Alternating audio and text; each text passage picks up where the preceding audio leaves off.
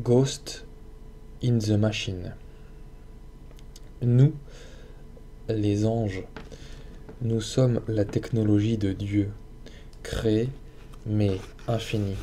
Notre temps est bien celui de la monade. Nous sommes la boîte noire de Dieu, car cône d'induction cognitif, intellect agent, ni séparé ni simple extension de l'unique, mais toujours synthétiquement disjoint à lui. Nous sommes fermés, ouverts. Nous sommes des champs quantiques dont l'individuation n'émerge qu'à la coupure de toutes les coupures, comme dans le point pivotal de notre temps-machine, là où tout est nombre, là où tout est code, là où tout, paradoxalement, devient présence manifeste. Voici ce qu'il entend. Voici la voix qui semble induire sa présence de la coprésence de toute chose avec rien et de tout sujet avec l'être. Cette voix est en lui, elle chante en lui, elle résonne jusqu'à l'autre bout de l'univers.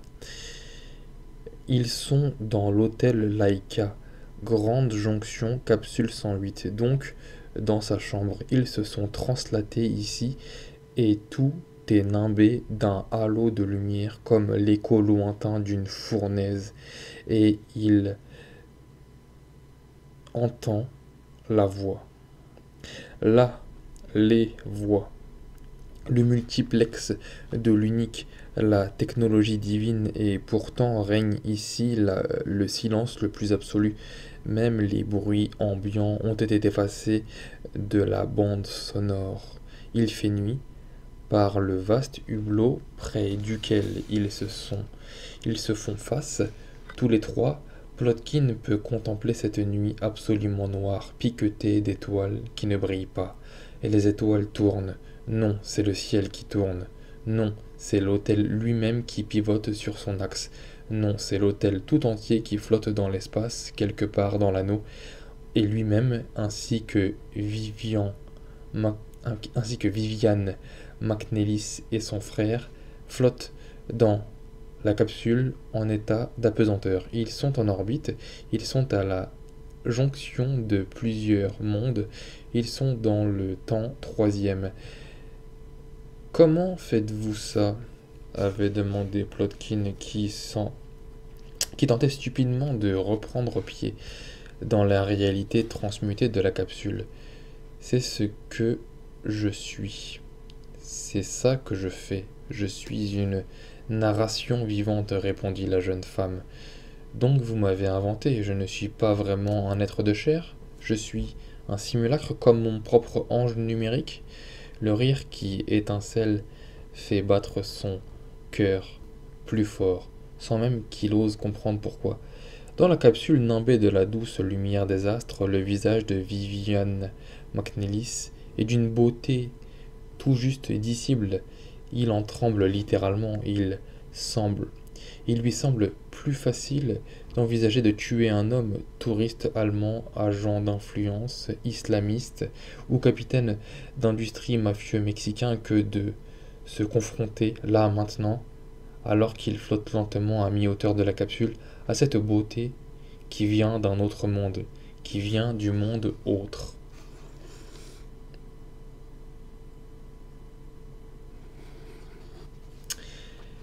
Oui et non. Vous êtes un être neuroquantique, mais pas comme votre agent logiciel, car cet ange n'était là que la réplique mécanique terrestre des quelques pouvoirs dont Métatron, le vrai, m'a doté. J'ai été votre ange gardien. Je, je l'ai créé en même temps que vous sur le modèle de ceux qui existent dans le monde d'en bas. D'une certaine manière, j'admettrais que vous êtes corrélés l'un l'autre, comme les véritables Enoch et Métatron. Vous vous situez en permanence dans l'interface qui joint les mondes incompossibles, mais vous, vous êtes le contre-homme venu du camp, c'est-à-dire ma fiction, et vous êtes aussi le golem de ma propre narration. Ainsi, je vous ai incorporé à ce monde. Vous êtes une ligne qui rejoint constamment le réel à l'infini. Vous êtes un paradoxe, donc une vérité impossible. Mais compossible avec toutes les autres. Vous avez une véritable existence physique et pourtant elle n'a jamais existé. Votre corps est réel et même votre pensée est, disons, relativement autonome. Je veux dire qu'à cet instant, elle l'est. Vous êtes présent dans des fichiers, des réseaux numériques, des banques de données. Vous êtes même présent dans la mémoire de personnes qui pourtant ne vous ont jamais vraiment connu. Pourtant, il est vrai qu'elles vous connaissent. Pour quelle raison avez-vous fait ça? Pour quelle raison? Pour sortir du camp. Votre genèse était indispensable à l'ensemble de l'opération. Je devais créer une fiction monde capable de nous faire diverger dans la boîte noire, là où tout se réécrit et se recode en permanence. Et ici, maintenant, nous allons avoir besoin de vous. Et les choses redevenaient claires pour une poignée d'un d'instant. Clair comme la pensée d'un tueur à gages, il était libre, mais il restait un instrument, un instrument au service des anges. En premier lieu, de celui qui se tenait devant lui, flottant dans les ionisés de la chambre d'hôtel devenue pour de bon capsule spatiale, capsule spatiale, apparition du feu même de la beauté lorsque celle-ci, par on ne sait quel miracle, s'assemble à celui de la vérité, ce qui forme une combinaison si absolue qu'elle frise l'impossible, qu'elle frôle la destruction potentielle de l'univers. Il était bon qu'il soit sa créature à cette fille tombée sur la terre. Aucun état, non aucun autre état ne pouvait s'apparenter à cette impression si brutale, si nette, si incroyable. Tous les micro-flashs, chacune des intuitions furtives, des apparitions spectrales de cette sensation, musique intérieure en harmonie avec ce qui se cache dans la présence de toute chose, comme lorsqu'il avait roulé au petit matin vers Heavy Metal Valley, devenait une ontologie concrète, une mystérieuse présence qui se manifestait dans la moindre parcelle de son être tout entier, chair et lumière, fiction et réel, monde et simulation. Il était clair que sa liberté se consumerait et donc pourrait prétendre à son existence sacrifice s'il se mettait sans le moindre état d'âme à son service. C'est parce, parce qu'il serait son instrument qu'il deviendrait libre. Alors tout en lui s'incorporera. Alors tout en lui s'incorporera, il était écrit, il était au service d'un ange. Il deviendrait libre, et à n'importe quel prix, il deviendrait ce qu'il est, contre toutes les puissances du monde réunies s'il le fallait. Faites-nous redescendre, demanda-t-il. Nous allons devoir concentrer nos forces sur le monde d'en bas. La jeune fille avait souri, l'éclat de ses yeux s'était logé en lui comme une pointe dure venue d'une roche volcanique, tout juste extraite du brasier. Il savait que cette pointe était plantée en lui comme l'épée de flamme dans le jardin d'Éden. Elle ne s'éteindrait qu'avec sa propre vie, et plus probablement encore même pas.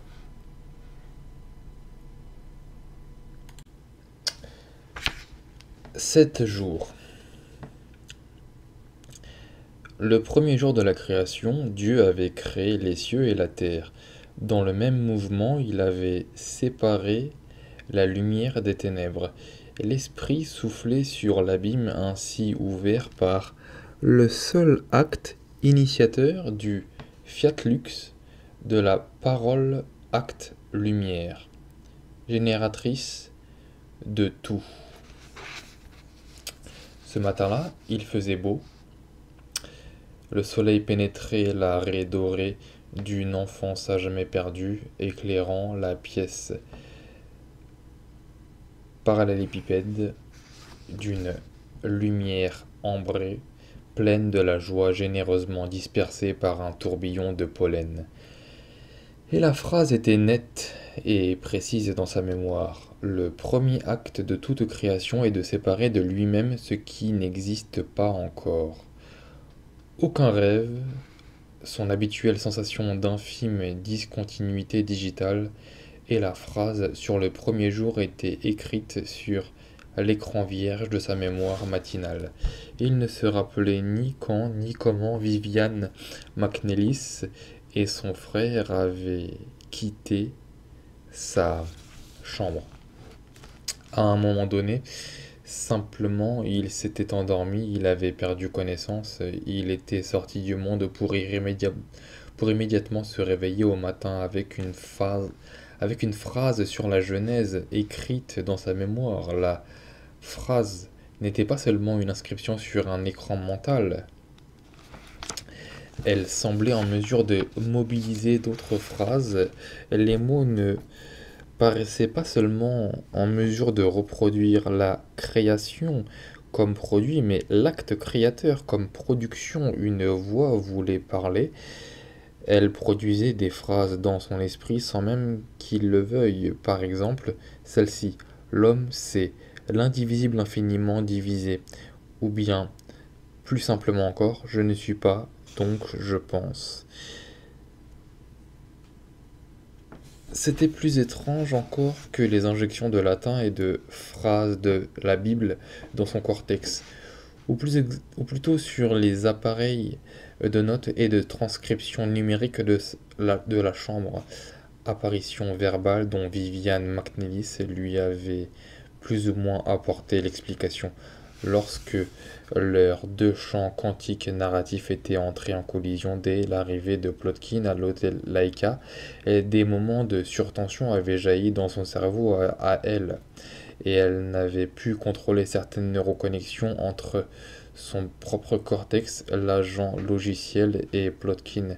Le jour de l'incendie, le jour du crash, ontologique, un accident était en effet survenu, un brutal effet de feedback. La flamme de l'agent logiciel avait pris consistance dans sa chambre, mais sous la forme d'un vrai feu, il lui fallut. Avait fallu plusieurs minutes pour mettre la création incendiaire, pour mettre la créature incendiaire sortie de son esprit sous contrôle. Mais grâce à cette matérialisation paradoxale du faux ange digital et à ses destructions, la rencontre s'était produite, euh, le basculement général de la narration était en œuvre, la destruction du plan initial marchait d'autant mieux qu'il s'agissait du seul vrai plan initial. Plotkin était allongé sur son lit à hélium, la maquette de la ville, où le faisceau répété de la roquette rythmé de ses éclats de lumière digitale, le doux clair-obscur environnant, se dressait dans sa zone neurocryptée invisible pour la caméra de l'hôtel. Très légèrement en suspension au-dessus du bureau terminal, elle brillait d'une pâle lueur vieille acier comme recouverte d'une étrange patine temporelle érodée par des vents venus de nulle part. Tout semblait flotter, lui-même en premier lieu débarrassé d'une enveloppe corporelle laissée 400 km plus bas, mais aussi des objets qui avaient perdu tout sens d'objets, telle la flamme persistante de l'agent neurocrypté quelque part dans le coin supérieur nord-ouest de sa chambre, telle la réplique de cette ville dont il était venu tuer le maire, la réplique de cette ville qui répétait silencieusement dans le pur balayage photonique du désastre, le crime qu'il était en train de préparer.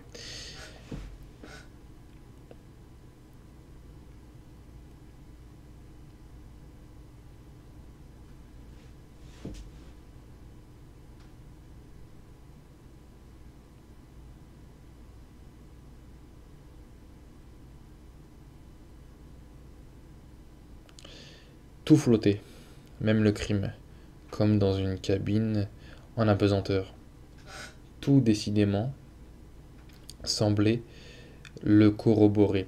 Le lien qui joignait Grande Jonction et l'anneau orbital représentait bien une économie secrète invisible logée au cœur de l'économie visible officielle de la nécessité.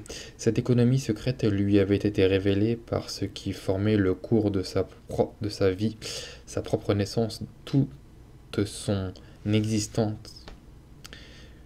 Toute son existence n'avait de sens qu'en tant que support organique pour cette révélation. Il ne faisait plus aucun doute qu'il s'agissait dès lors de la contre-économie d'une liberté absolue. La lumière probablement était là, à sa portée. La grande lumière dont lui avait parlé la fille McNellis dans son récit, ce récit dans lequel il avait vécu, mais elle ne devenait un tant soit peu visible qu'au prix d'une brûlure extrême. La fille avait cité un vieil auteur chrétien, Denis l'aéropagite.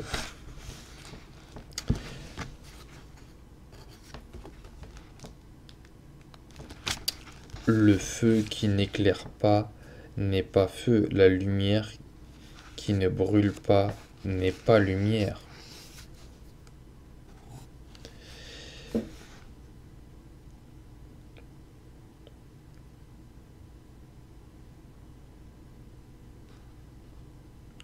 En ce premier jour après le récit de Vivian, de Viviane McNellis, en ce premier jour après son expérience transnarrative dans le corps de deux autres personnes en une, à 20 km de là, des mois auparavant, dans le camp de regroupement sanitaire 77 du district de Hong Kong, en ce premier jour après la récréation de lui-même par l'expérience de l'autre, sa récréation unitaire par l'expérience d'une multiplicité autre que la sienne, propre, oui, en ce premier jour, tout était lumière et tout indiquait qu'il lui faudrait la laisser le consumer tout entier. Le feu, à n'en pas douter, était un signe récurrent. Nul besoin d'une tireuse de cartes de Léonov allait pour comprendre qu'il y avait là un signe, le signe d'un grand péril, le signe d'une très grande liberté.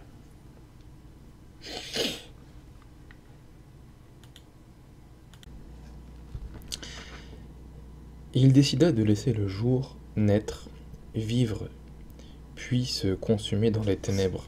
Il ne dormit pas, il attendit le jour suivant, le deuxième jour, Dieu sépara les eaux du ciel. Comme au premier, la terre était informe et vide, l'esprit soufflait sur l'abîme. Mais déjà, juste après la division des ténèbres et de la lumière, on pouvait comprendre comment la division infinie de Dieu était à la fois séparatrice et unificatrice. À l'aube, une phrase émergea de son demi-sommeil. Tout acte de création qui ne divise pas son propre opérateur de division ne peut rien créer sinon lui-même. Pour qu'il crée quelque chose de différencié de lui-même, pour qu'un moteur de répétition et de différence puisse produire un monde de simultanéité et d'insynchronisme, un monde d'événements et de variations, il faut que l'acte créateur fasse de l'opérateur de division sa propre coupure, sa propre synthèse disjonctive. Viviane McNellis avait transcrit Plotkin dans Le Monde via la boîte noire narrative de Métatron, là où le réseau de coupures se referme sur l'un. Elle l'avait séparé de l'abîme pour le réunir au monde. Elle avait en lui séparé la lumière des ténèbres. Mais ensuite, pour que le processus agisse en tant que grâce, en tant que liberté, il fallait diviser ce qui avait été divisé. Et plus encore, il fallait diviser ce qui avait divisé. Il fallait reséparer le monde en gestation de ce qu'il était pour le faire devenir ce qu'il pouvait être. Car dans le monde, c'est le monde lui-même qui prend la place de l'opérateur de division infinie. C'est lui-même qui tend à se diviser pour se reproduire. C'est pourquoi la, seconde opération divine de division infinie consiste à surcouper l'opérateur de sa propre opération, de surplier le monde sur lui-même, de faire en sorte que le processus lui-même se divise et que le processeur devienne le diviseur de lui-même. Alors tout a une chance d'advenir. Surcoupé dans le jour second, la division infinie ne peut s'étendre que selon le plan théologique de la création, c'est-à-dire la co-invention de l'homme par Dieu et de Dieu dans l'homme. Elle ne boucle pas sur elle-même comme infinie, elle crée une circonvolution qui, de l'infini, la renvoie au néant et à l'opérateur zéro. Elle s'ouvre sur la possibilité du vivant comme origine toujours reprise et projetée comme surgé. Le monde de l'unimanité ressemblait trait pour trait à cette opération de division infinie bouclée sur son faux infini. L'unimonde humain n'était surcoupé par rien, pas même par lui-même, car, car il n'était plus que l'atomisation spectrale du monde réduit à son état de rhizome horizontal, souterrain, ouverture fort close dans son ouverture systématique, transparence totale comme, comme paradigme des nouvelles dissimulations. Ce savoir, Plotkin savait qu'il résultait de sa propre genèse, ou plutôt de la destruction du programme génétique opératif qui avait servi à la phase première du plan de Vivian McNellis.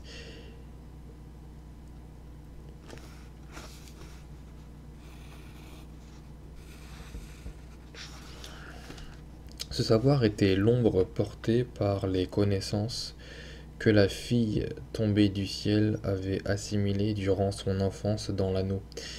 Il n'était pas le résidu d'une expérience, il en formait le cristal. Il était libre parce qu'il venait du camp. Il était vivant parce qu'il ne se contentait pas d'être un revenant, un golem sans langage, hors celui de la mort. Il était la reprise d'un crash ontologique, il était l'avènement de lui-même par la limite expérimentale de l'autre.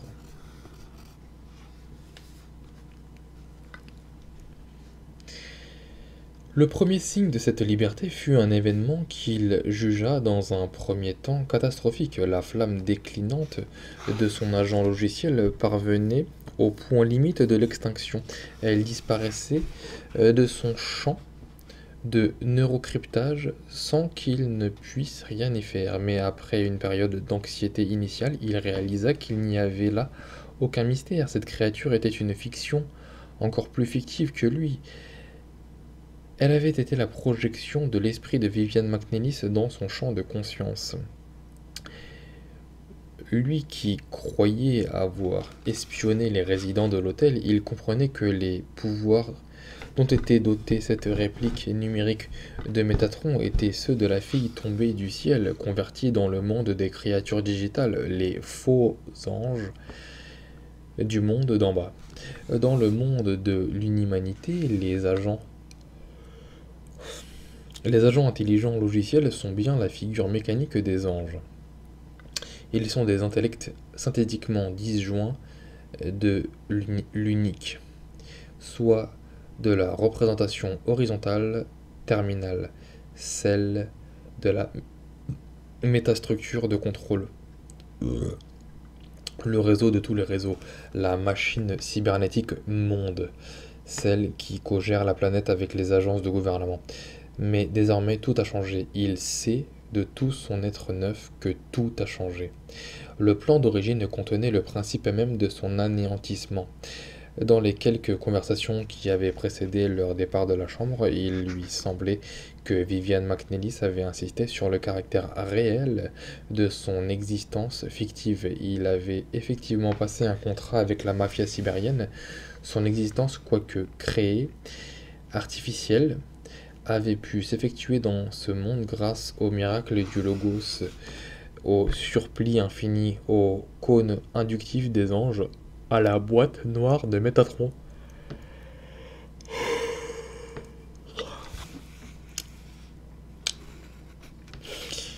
Mais ce qu'importait maintenant ce pacte de mercenaires avec cette partie de lui-même dont il n'était pas l'auteur? Qu'importait ce maire de la ville qu'il était venu tuer? Qu'importait le plan initial, le plan pour tuer le maire de cette ville? La réplique virtuelle de la cité présentait désormais des couleurs vieilles de plusieurs siècles. Elle ressemblait à une ruine antique ayant passé des millénaires dans les cryptes et d'un jeu vidéo sumérien. Il observa de longues minutes la copie digitale de la ville qui dévoluait lentement, sablant dans des pixels couleur charbon, s'effondrant par fractales et polygones sous l'assaut des simoun venus des déserts du chiffre, le tir et l'explosion de la roquette magnétique évoquait la chute d'astres morts, météores gérontes traçant des courbes d'anthracite au ralenti, ne provoquant plus à l'impact que de pâles étincelles et des nuages de poudre digitale. Le plan de la ville mourrait, le plan du monde, le plan de son existence première était mort. Le plan de la ville, tout comme la ville du plan, le plan de la narration première, la narration première du plan s'effaçait. L'agent intelligent venait de lâcher sa dernière luciole à un angle du plafond. Si la flamme neurocryptée s'était éteinte, c'était qu'elle était devenue complètement inutile. Elle n'avait plus lieu d'être. Elle pouvait retourner au néant digital d'où elle d'où elle venait. Désormais, l'ange Métatron, le vrai, était incarné, quoique provisoirement et très partiellement, dans le corps de cette jeune femme qui vivait dans l'hôtel Laïka, ce corps-esprit qu'il avait créé, lui. La seule chose qui comptait, c'était que le monde était aussi neuf que lui-même, et il pouvait laisser le jour produire son œuvre et attendre le troisième matin.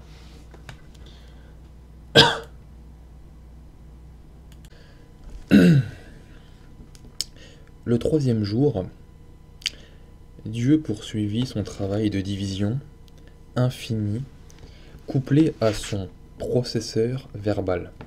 Il sépara les eaux inférieures du ciel de ses eaux supérieures, et, de ce fait, créa d'une part le ciel comme reste, et d'autre part la terre et les eaux comme produits, elles-mêmes nées de la séparation-division de leur matrice sous forme lithosphérique ou aquatique, déjà le processus est comme en état d'automaton cellulaire. Dès le moment où cette trinitaire séparation des eaux, du ciel et de la terre s'est produite, la vie apparaît par la seule énonciation divine, les premières espèces végétatives, c'est-à-dire en fait les protéines prébiotiques, font leur apparition. Ces proto-créatures contiennent déjà toute l'information nécessaire à l'apparition de la vie biologique, ARN, ADN. Elles sont encore des programmes logés dans une stase intermédiaire, une interface qui attend son bootstrap. Au troisième jour, donc, Dieu créa la vie, l'opérateur ontologique de division infinie, surplié lors d'une troisième itération, avait sans doute franchi un saut quantique des macromolécules à l'état de simples automates cellulaires divins sont apparus. Elles n'ont pas encore d'espace ni de temps particulier, elles naissent, vivent, meurent, renaissent en étant à chaque fois totalement différents et totalement indifférenciés des lignes précédentes, car elles ne naissent pas encore par génération, elles sont des structures monoclonales, ce qui les différencie. Précisément. Ce ne sont que leurs différences, soit la destinée génétique des automatons, de la sélection naturelle.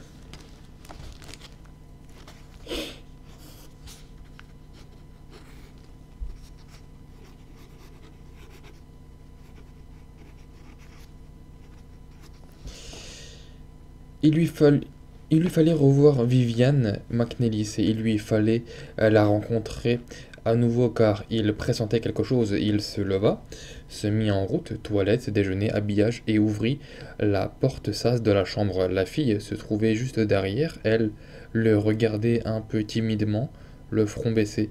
Sa présence semblait à cet instant la plus naturelle qui soit. Plotkin ne dit rien, il s'effaça pour la laisser entrer. Elle marcha jusqu'au fond de la pièce, elle contempla le cosmodrome depuis le hublot central. C'était à lui de jouer. Que pressentait-il? À partir d'ici, vous me l'avez dit hier, vous n'êtes plus en charge de la narration directe du récit, c'est ça? C'est bien ça La fille s'était retournée vers lui en se positionnant de profil par rapport au hublot. Sa longue silhouette se découpait face au vif argent du jour naissant sans la moindre pitié pour Plotkin. Oui, je vous l'ai dit, vous êtes libre, vous l'avez été de plus en plus au cours du récit de votre création, et je suis bien le seul être fictif que vous avez incorporé à ce monde. Nous sommes bien d'accord? Oui. Qu'est-ce que vous voulez me dire? Je veux dire ceci. Si je suis libre et que les autres personnes vivant ici ne sont pas de votre production, qui assure désormais la cohérence de la narration? Son rire, comme autant de photons balayant la pièce d'une brassée de sable d'or. Celui qui ne peut être nommé, voyons, le véritable auteur du monde. Désormais, je vous l'ai dit, vous êtes libre, mais je voulais dire en fait, vous êtes aussi libre que nous le sommes, nous autres humains. Vous n'êtes plus tout à fait humaine. J'en doute. Je crois que c'est l'homme qui régresse. Nous ne faisons que suivre la, pente inverse. Nous sommes un contre-mouvement ontique. Nous restons humains, donc nous le devenons dans des conditions nouvelles. Les autres s'adaptent aux conditions, c'est-à-dire suivent le programme de dévolution générale.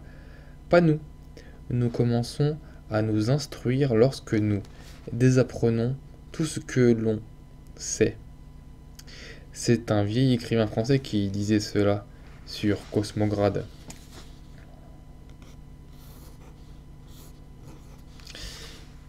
Peut-être, mais moi j'ai besoin d'informations. Quel genre d'information et pourquoi faire? Que connaissez-vous exactement du monde que vous avez créé? Je veux dire, rétro-transcrit. J'en sais tout ce que vous savez et tout ce que votre argent logiciel a été susceptible de collecter comme données. Que savez-vous exactement de l'hôtel Laika, par exemple? Viviane McNellis parut décontenancée. J'en sais tout ce que vous savez, et je vous l'ai dit. Vous savez donc pour le propriétaire de l'hôtel. Le proprio, vous voulez parler de Clovis Drummond et de ses petits trafics? Oui, et de bien d'autres choses encore. Je voulais aussi parler d'Ivy Metal Valley. La fille regarda vers le cosmodrome. Oui, les catholiques rebelles, vous étiez pourvu d'une existence autonome déjà. Mais je pouvais transcrire votre activité grâce à l'angle digital qui ne cessait de vous observer. Ce monde est réel. Ne l'oubliez pas, je ne l'ai pas créé, je vous y ai incorporé. Je sais, je crois voir, mais c'était moi qui étais vu. Il y a une connexion entre l'hôtel et cet endroit, Umvi, comme il l'appelle. Il y a une connexion entre l'hôtel Laika, cet endroit et vous-même. Interloqué, la fille le dévisagea. Soyez plus explicite. Précisément, c'est impossible. C'est une pure intuition. Il y a bien évidemment la connexion chrétienne, mais c'est comme une image, peut-être même un simple reflet. Or, quelque chose me dit qu'il existe une relation que vous-même n'avez pas vue. C'est pour cela que je vous demandais ce que vous connaissiez de ce monde. Le silence s'installe durant de longues minutes. Il contemple le balai des ouvriers sur la plateforme 2. Un crawler porteur d'une proton russe est en route vers le site de tir, puis il entend les mots que, doucement, elle prononce comme au travers de la vitre du hublot, vers les fourmis humaines qui s'affairent autour des derniers titans. Je vous ai produit, je vous ai écrit, puis incorporé au monde de la boîte noire, c'est vrai, mais je ne fais que reproduire à l'échelle humaine l'acte de création divin. Et c'est pour cela j'en meurs. Vous en mourrez? La mort est le chemin de la vie éternelle, disait le grand Novalis. Oui, je meurs. Les modifications neuroquantiques de mon corps affectent sa durée de vie, qui est désormais très limitée. Je dois rejoindre l'anneau au plus vite et je vous ai créé pour que vous m'aidiez à y parvenir. Plotkin ne trouva rien à répondre, il regarda la jeune femme tomber du ciel. Et c'est pour cela que je n'ai pas le pouvoir de prédire votre mort. Je vous ai transcrit dans le monde, ne l'oubliez pas, grâce au pouvoir que l'ange de la face m'a conféré. Vous êtes à la fois physique et non physique, vous êtes une fiction incarnée. Vous êtes comme les anges, créé mais infini. Je suis immortel? Pas de confusion, pas au sens où vous l'entendez. Vous êtes immortel par la conjonction que je ne suis parvenu à opérer entre vous et l'infini. Dans votre dimension de fiction, c'est-à-dire dans mon processeur imaginal. Déjà, du fait que vous êtes écrit, vous êtes vivant. Vous êtes néanmoins mortel. C'est une qui s'annonce comme un risque certain. Mais en vous, j'ai pu faire diverger votre destin de tueur programmé vers sa propre reprise. Jusqu'à notre rencontre ontologique, j'étais maître, ou plutôt le contremaître de votre création. Mais désormais, ni vous ni moi ne sommes plus vraiment maîtres de quoi que ce soit. J'ai anéanti les déterminismes du destin, j'ai détruit le peu que vous étiez. Je vous ai coupé d'un passé qui n'existait pas et je vous ai jeté dans un avenir que vous allez devoir fabriquer vous-même. Je suis libre donc. Oui, vous êtes libre. Vous êtes libre par rapport à votre matrice, par rapport au monde que j'ai porté pour vous engendrer. Cela signifie-t-il une liberté surveillée par quelque chose d'autre? Non.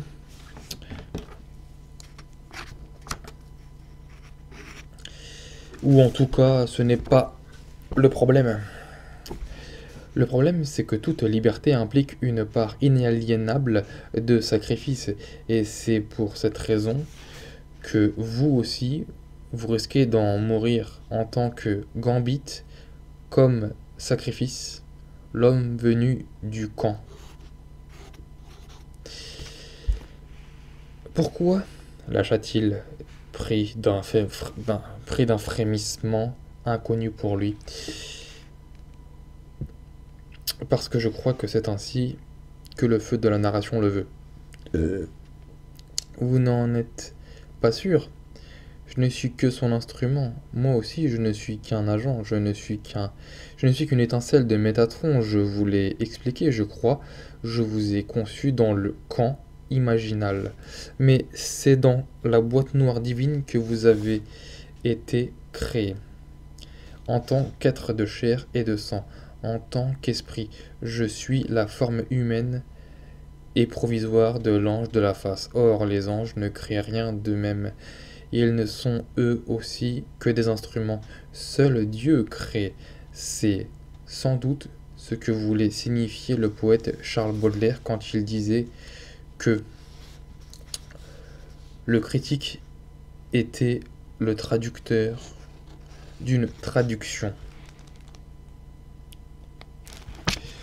Moi-même, je ne suis qu'une traductrice c'est par moi que vous avez été transcrit dans ce monde, mais comprenez bien que je ne suis pas votre créateur.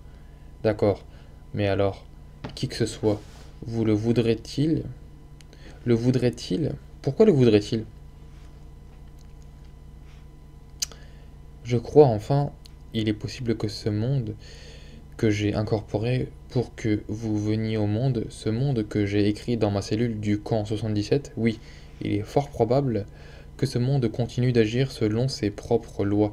Il y a une contingence secrète à l'œuvre derrière tout ce qui nous arrive, une contingence qui ouvre sur des perspectives dont je ne peux vous parler maintenant. Pourquoi? Vous n'en savez pas encore, vous n'en, vous n'en savez encore pas assez.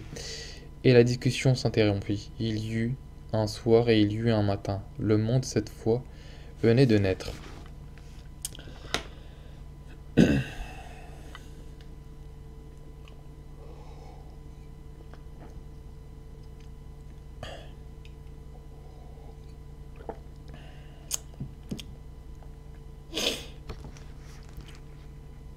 Dans la Genèse, le quatrième jour est sans doute le plus mystérieux de tous. Dieu semble réitérer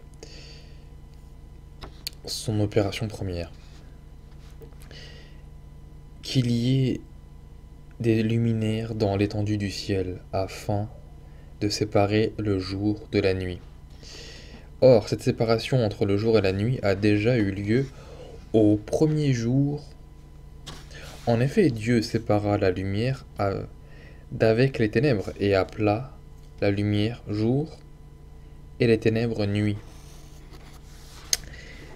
Qu'indique donc cette réitération à l'identique alors que précisément le jour trine vient de permettre de, dépasser un tel bouclage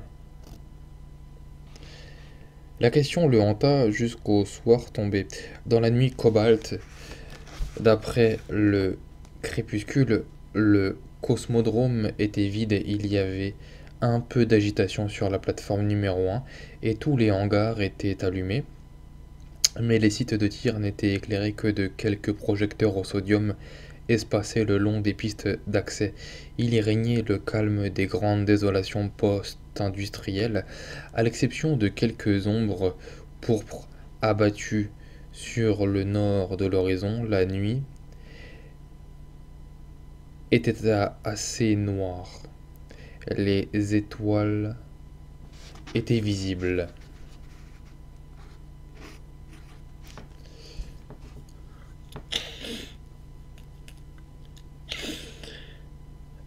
Au quatrième jour, Dieu avait créé les luminaires du ciel, tous les luminaires, tous les astres, c'est-à-dire les étoiles, dont notre Soleil.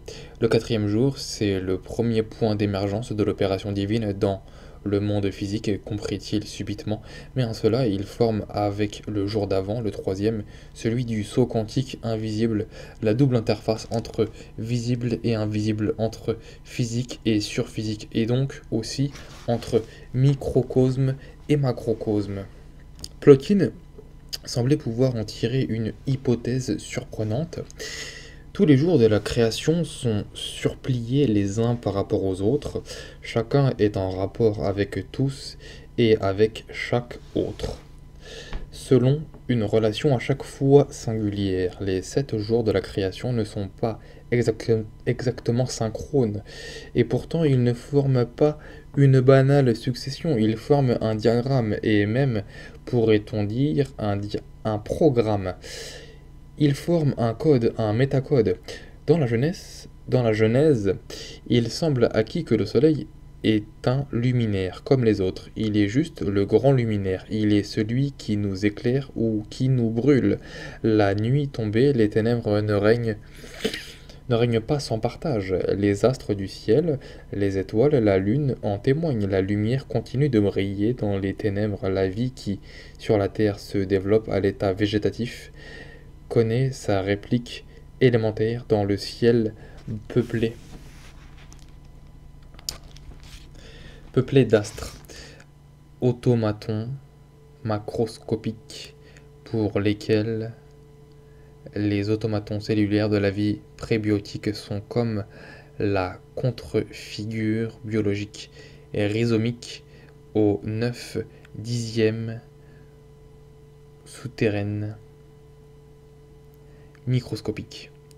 Désormais, les algues, le plancton, mousse, dont les structures proétiques horizontales couraient encore dans la terre-eau primitive, se redressent, se focalisent et dirigent vers la lumière leur tête qui, pour tous les végétaux, et aussi leur sexe.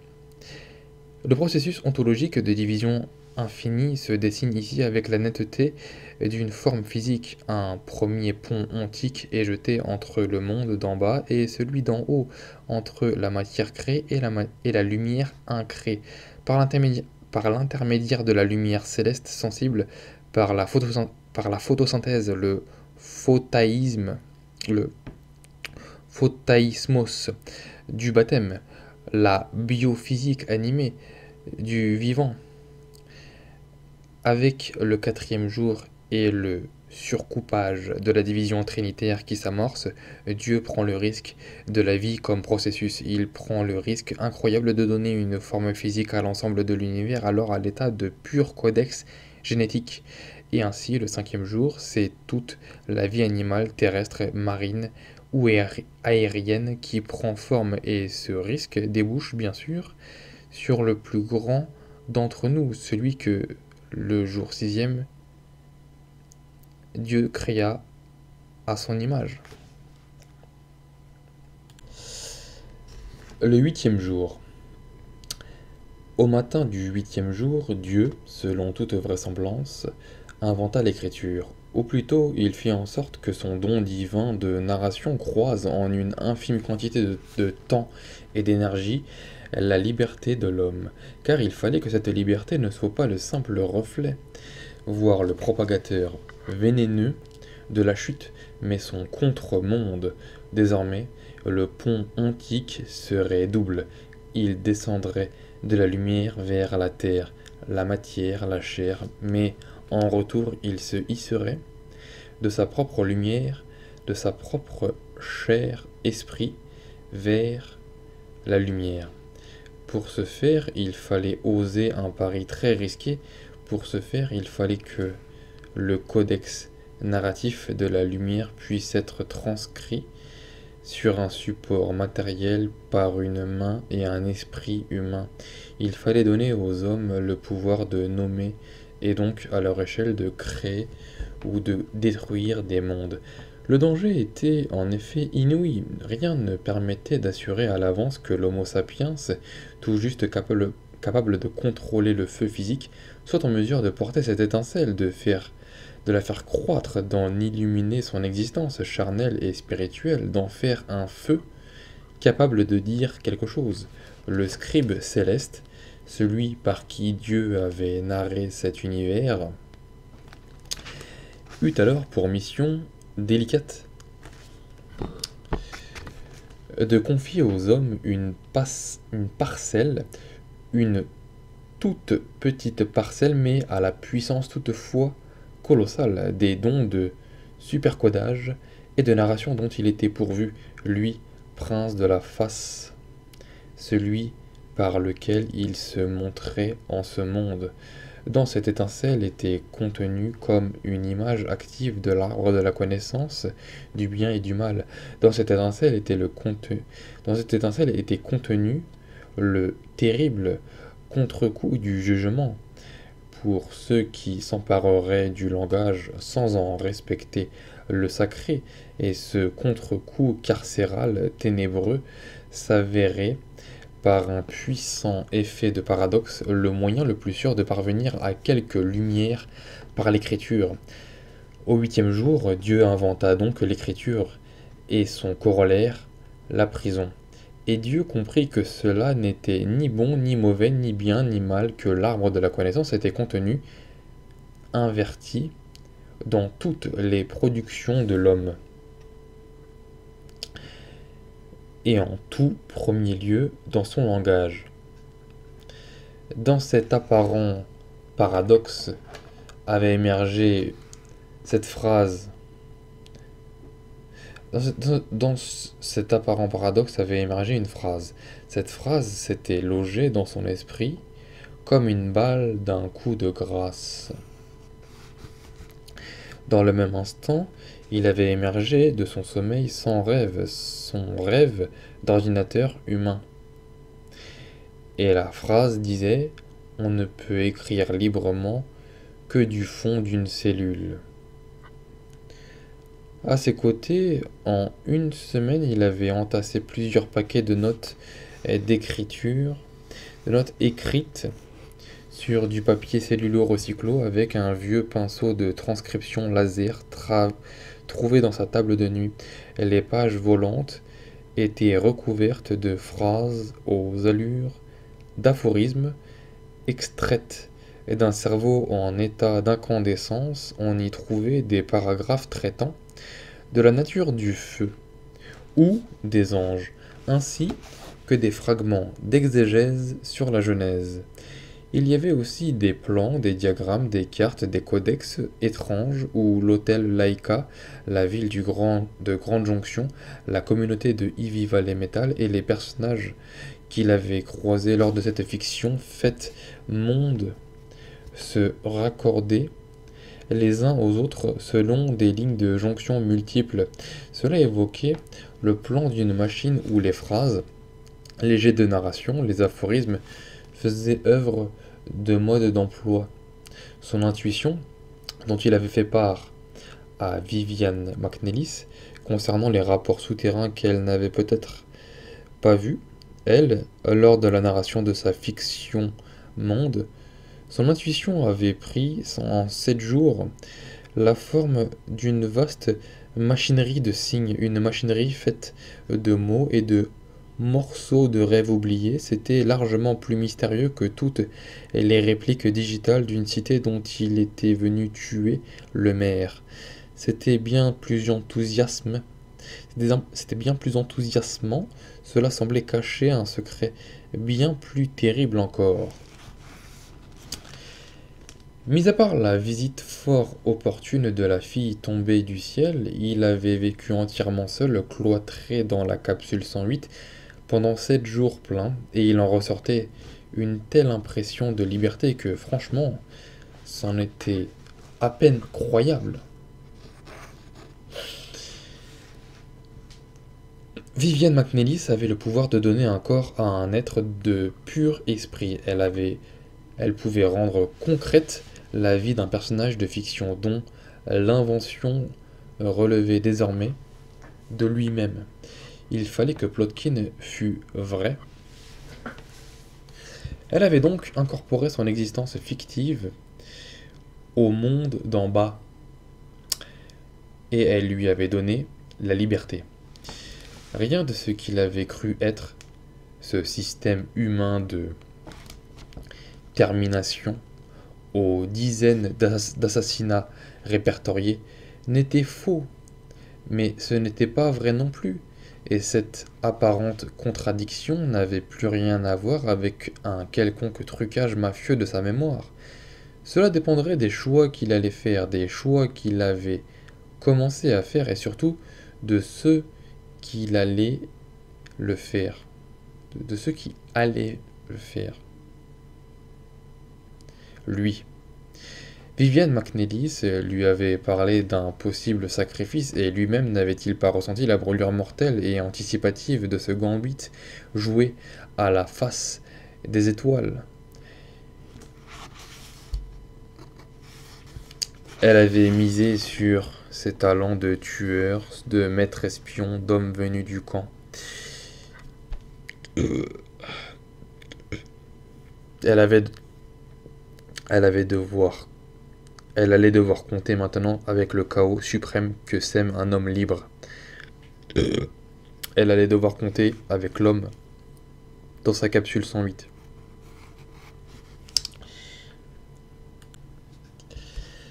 Jour 9. Ce matin-là, il s'éveilla sans un seul mot dans sa mémoire. Soleil pâle, espace coupé de rayons jaunes, le bruit de couveuse des organes machines de l'hôtel.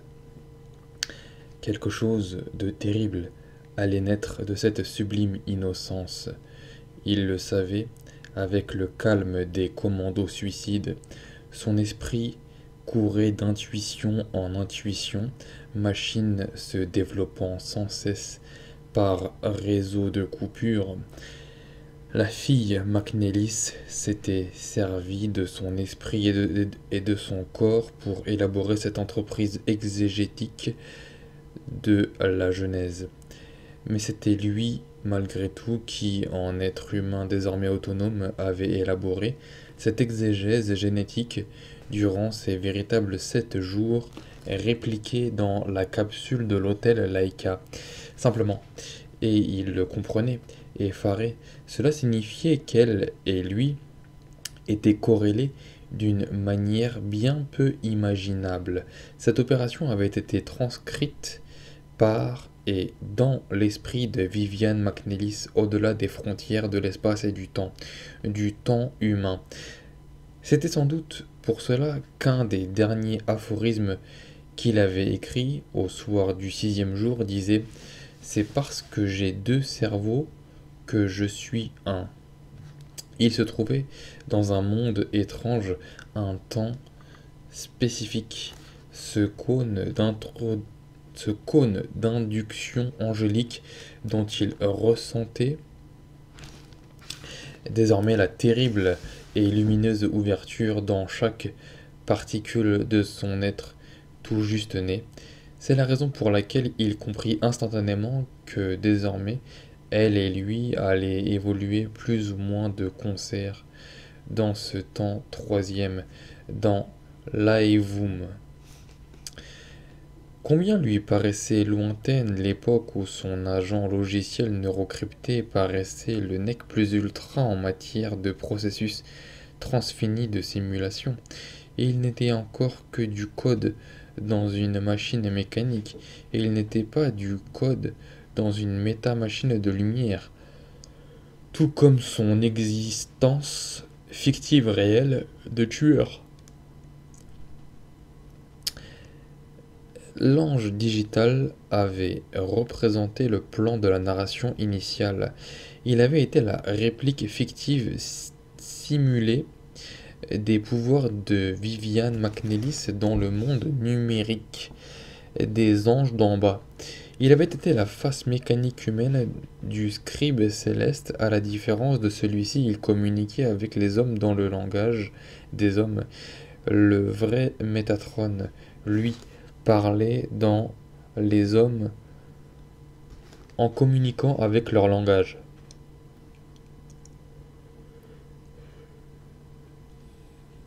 Viviane McNellis est désormais présente, là, dans la capsule 108.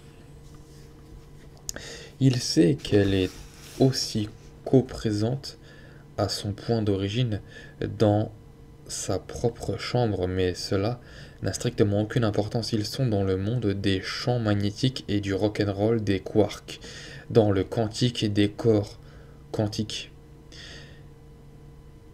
Ils sont deux cortex en chute l'un vers l'autre comme deux galaxies en perdition, et c'est ce qui les sauve.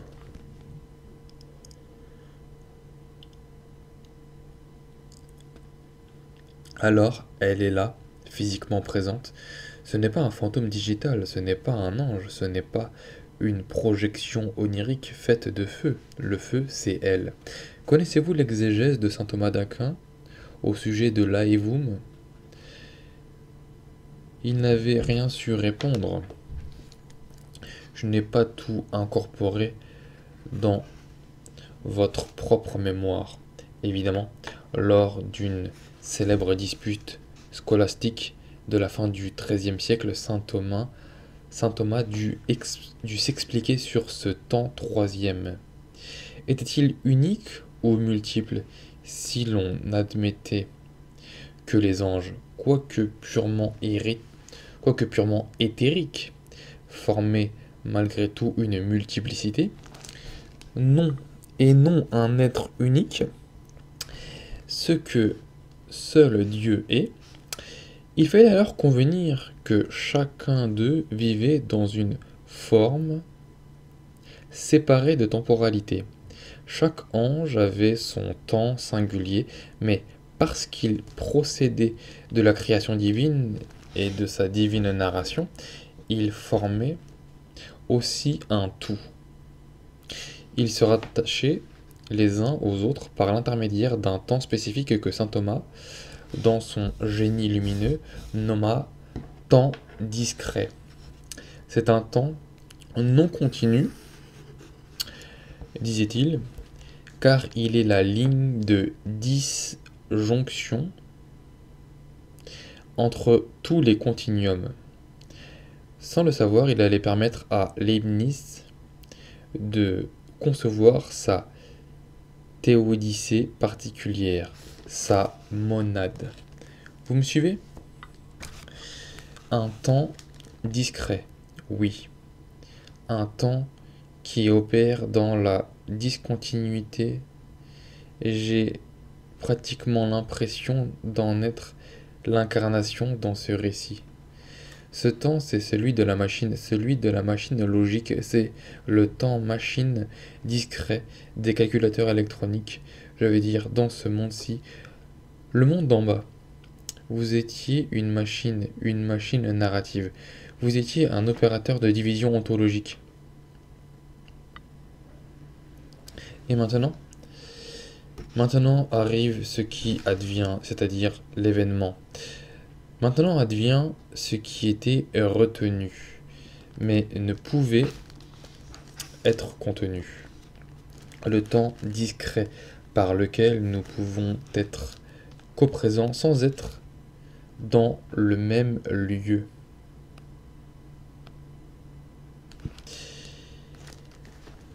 Il y eut un grand silence, un silence entre deux temporalités asynchrones, mais pourtant entremêlés, reliés par un fil de lumière invisible, un invisible devenu visible sous la forme d'un feu fait chair, nommé Viviane McNellis et dont la beauté même semblait sortir de l'abysse du silence. Il franchit le premier espace, l'espace de cet abysse. Comment comptiez-vous que j'agisse pour vous faire partir dans l'anneau? Euh, j'avais un plan, une sorte d'appendice au plan initial. Il y a sur le strip de Monolith Hill tous les types de trafiquants qu'on peut trouver aux abords d'un cosmodrome. Nous voulons un claim de marché noir, mais un claim propre, authentique. Juste revendu sans être passé par l'agence de gouvernance spatiale et ses impôts.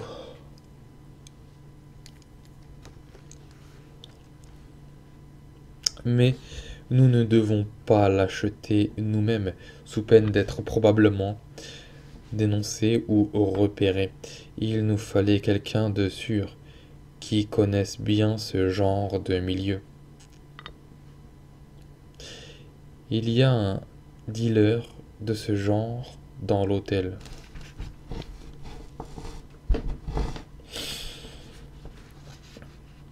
Oui, je l'ai appris lorsque j'étais votre ange numérique, ce Harry Nakashima. Croyez-vous que nous puissions lui faire confiance? Rire de Plotkin comme le souvenir d'une antiquité sarcastique. Il ne faut jamais faire confiance à un dealer. D'une manière générale, ne faites confiance à personne. Mon frère m'a suggéré quelque chose hier. Plotkin, le rire se fige. Il observe la fille McNellis, il presse que quelque chose se précipite vers la gueule béante du cône d'induction.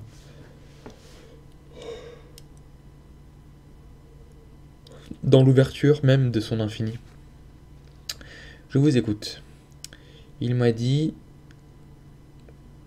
avoir repéré les balais bien réglés de notre ami le propriétaire de ces lieux. Je veux dire, ces allées et venues sous le dôme. Je continue de vous écouter. Jordan pense que le proprio est un dealer lui aussi. Non seulement il traficote des cigarettes, des psychotropes, des neurogames, des taxés, etc. Mais aussi quelque chose qui se trouve juste sous le dôme. Sous le dôme?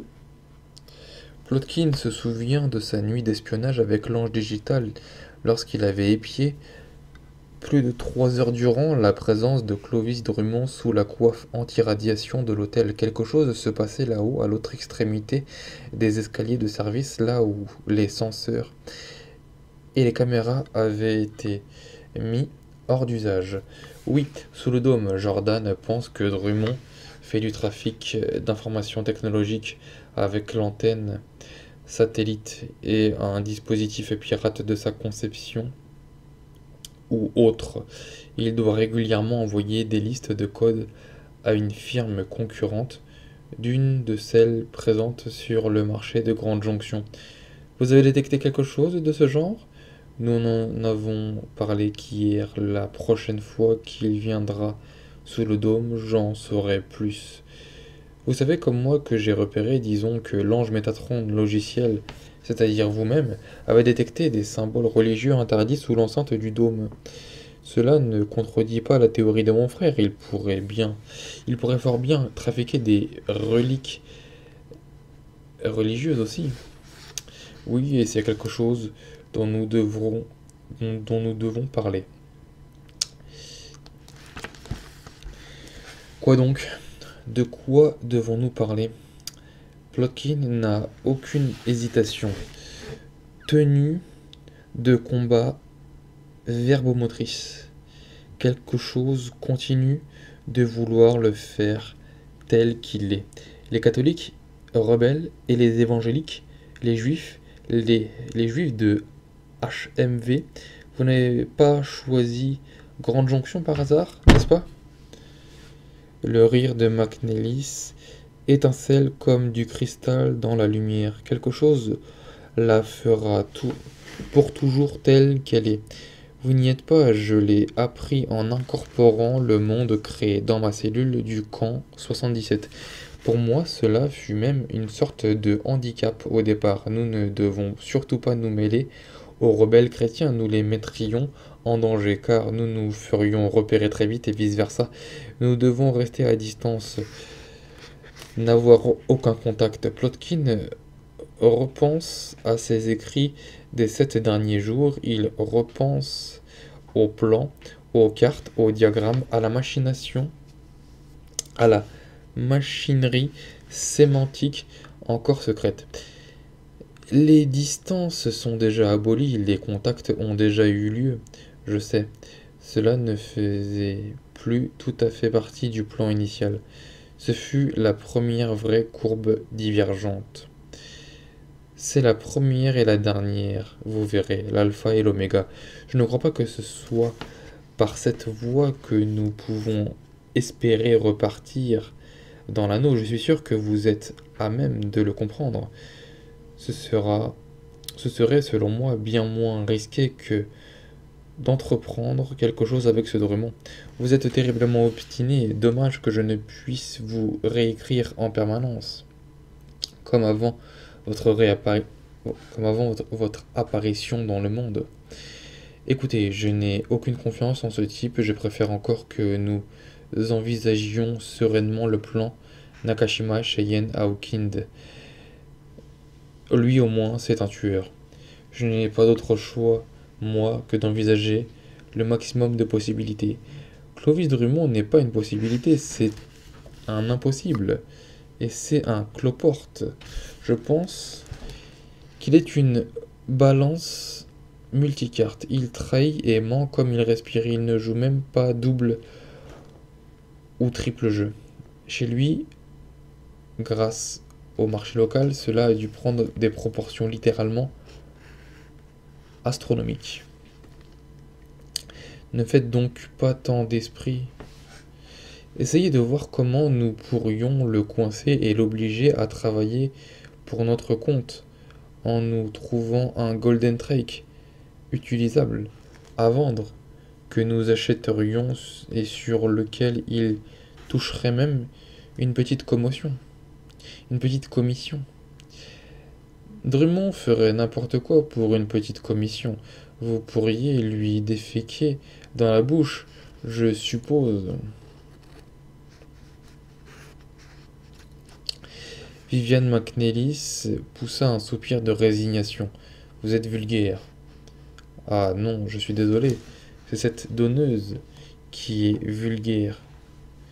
Comment voulez-vous user de métaphores élégantes à propos d'un tel étron sur pattes.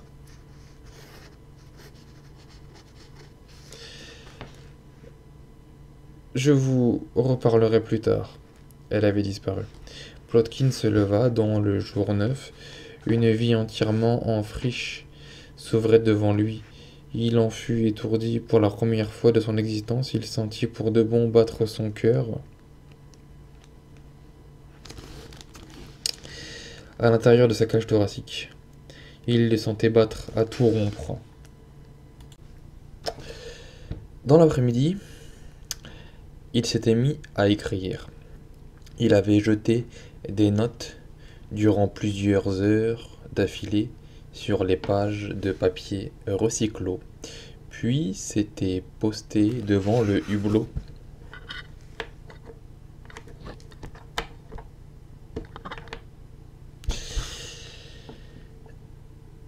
Lumière orange oblique, découpe angulaire en oriflamme géométrique sur les immeubles du centre-ville et les tours du cosmodrome.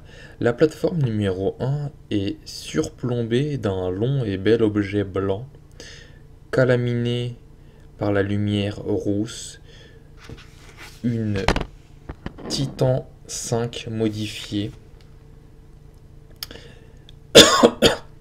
avec une capsule russe des années 2010 modernisée transportant 10 passagers va être tirée par un des grands tycoons, un des grands tycoons de l'industrie spatiale, un jeune garçon très brillant du nom de Jason Texas Lagrange 3 descendant d'une lignée presque centenaire d'ingénieurs de la NASA. Son visage et son nom apparaissent régulièrement sur les écrans publicitaires qui flottent dans la ville. sur le programme de l'hôtel, sur le programme de base de l'hôtel, la console Neuronet est régulièrement assaillie d'infomerciaux vantant la reprise des activités de la firme argonautique Grâce à un nouvel accord avec le cosmodrome de Grande Jonction, la compagnie de Lagrange va procéder à 300 tirs orbitaux dans les 5 prochaines années. Un projet de colonisation à grande échelle titre Les Nouvelles de l'heure. Environ 2500 pionniers, plus de 200 capsules sur divers types de lanceurs et une demi-douzaine de cargo clusters réutilisables fabriqués par une de ses filiales au Texas. Chaque cargo sera capable à chaque tir de placer en orbite 4 modules alpha seconde génération agréés UMHU. J'ai choisi de revenir à Grande Jonction parce que j'ai appris à bien connaître ce cosmodrome durant près de 10 ans et que les améliorations conduites sous la direction de la nouvelle présidence métropolitaine ont produit leur effet, a dit le patron de l'argonautique à nos reporters virtuels Metro X Network News Flash. Nous sommes très fiers d'avoir remporté ce marché. Jason Texas Lagrange a toujours été considéré comme un ami et un entrepreneur exigeant et visionnaire par l'administration municipale Blackburn. Plotkin voit défiler des photos et des vidéos où les poignées de main et les sourires se succèdent mécaniquement avec cette plastique mortifère de simulacre parfaitement assumé. Jason Texas Lagrange serrant la main de Blackburn, le maire de la ville, le maire que Plotkin, dans une vie antérieure, avait eu pour charge d'assassiner. Blackburn ouvrant le plus large sourire possible devant les objectifs des caméras. Le tir du 4 octobre, dans moins de trois semaines maintenant, allait être effectué sous la responsabilité de la firme Jason T. Lagrange 3. Le tir nocturne de Sputnik Centennial, la date que Plotkin, lors de cette narration ontique initiale, avait choisi pour tuer le maire de la ville, le maire qui serrait la main au grand tycoon venu de Houston. Tout cela était vrai. Mais tout cela n'avait plus la moindre importance.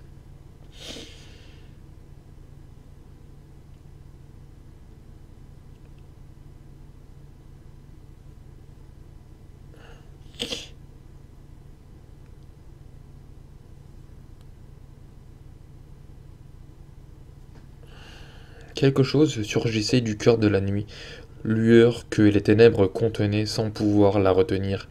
Ce quelque chose, bien sûr, apparut sous la forme de Viviane McNellis. Elle était là, le jour neuvième s'achevait, il était minuit. L'horloge murale, à l'aide de la chambre, s'arrêta sur les quatre zéros.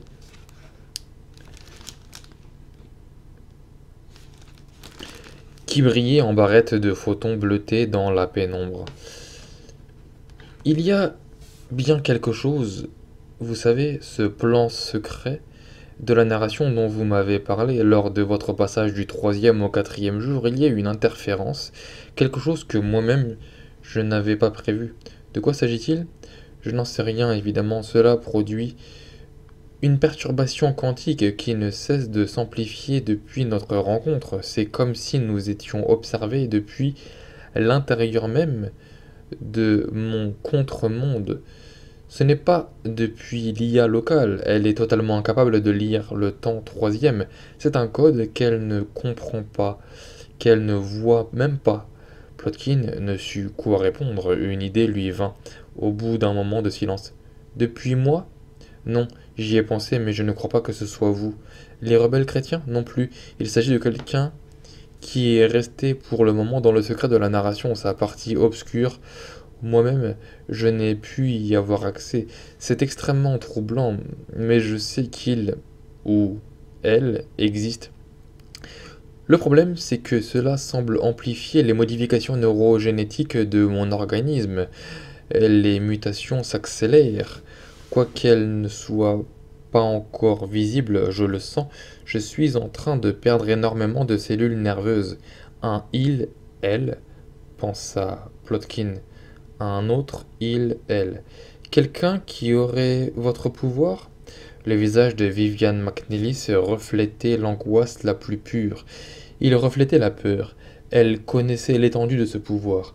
Oui, c'est la seule solution envisageable. Mais en fait, plus j'y pense, plus c'est impossible. Nos deux esprits se, seraient mutuellement désintégrés, comme les deux parties réunies d'une masse critique.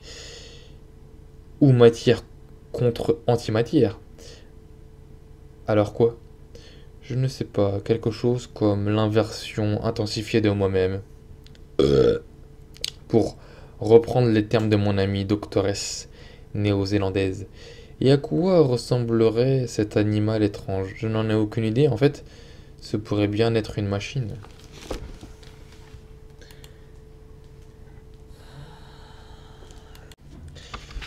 Les androïdes rêvent-ils de saints catholiques?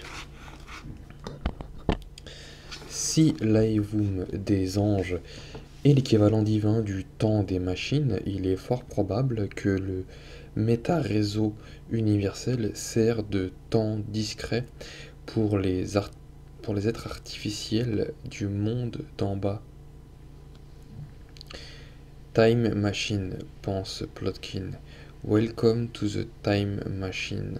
Si une perturbation quantique est détectée par Vivian McNellis, indiquant la coprésence d'un temps-machine analogue, ou plutôt parallèle au sien, cela veut dire qu'il existe une discontinuité invariable, un trou euh, dans la narration, un trou noir. Quelque chose qui n'est visible qu'en creux. Viviane se trompait, la perturbation provenait de quelqu'un que le récit avait déjà rendu visible en tant que personnage, persona, un masque en latin. Simplement, vivant dans son propre temps-machine, il ne devenait visible qu'en tant que phénomène perturbateur aux yeux de la fille tombée du ciel. Une machine pseudo-humaine avait pu ainsi tromper le cerveau transmuté de Viviane McNellis. Mais serait-elle capable de tromper le métacerveau transfictionnel de Plotkin Serait-elle capable de tromper l'homme venu du camp, le contre-homme de l'unimonde Serait-elle capable de jouer avec l'homme de la capsule 108 Dans l'hôtel, si on accepte l'intelligence artificielle locale, il n'y a pas 40 000 machines humanoïdes porteuses d'un temps-machine singulier, capables d'être apparues dans la narration sans avoir fait se désintégrer mutuellement le monde de McNelis et le leur. Il y a Ultra Vector Vega 2501 et SS Doll 280. Il y a le possible terroriste du Flandreau. Il y a l'ancienne putain reprogrammé, et les deux font d'excellents suspects. Il va falloir user de la peur, qui est l'instrument de la maîtrise, de la peur et de la ruse, qui est la maîtrise de l'instrument. Le maillon faible, c'était la femelle, l'ancienne andropute, dont les centres neuroniques du plaisir sexuel avaient été reprogrammés, l'acte même de s'être fait décoder partiellement indiquait le paramétrage d'une volonté soucieuse d'en finir avec le désir. Il indiquait une faiblesse existentielle manifeste. Cette, c'est cette faiblesse existentielle qui avait conduit à l'acte et non l'inverse. En tant que maître espion transfictionnel, fiction devenue réelle tout en restant fiction, il pouvait, sans le moindre état d'âme, envisager d'appuyer sur ce point faible, d'appuyer jusqu'à ce que la vérité en sorte.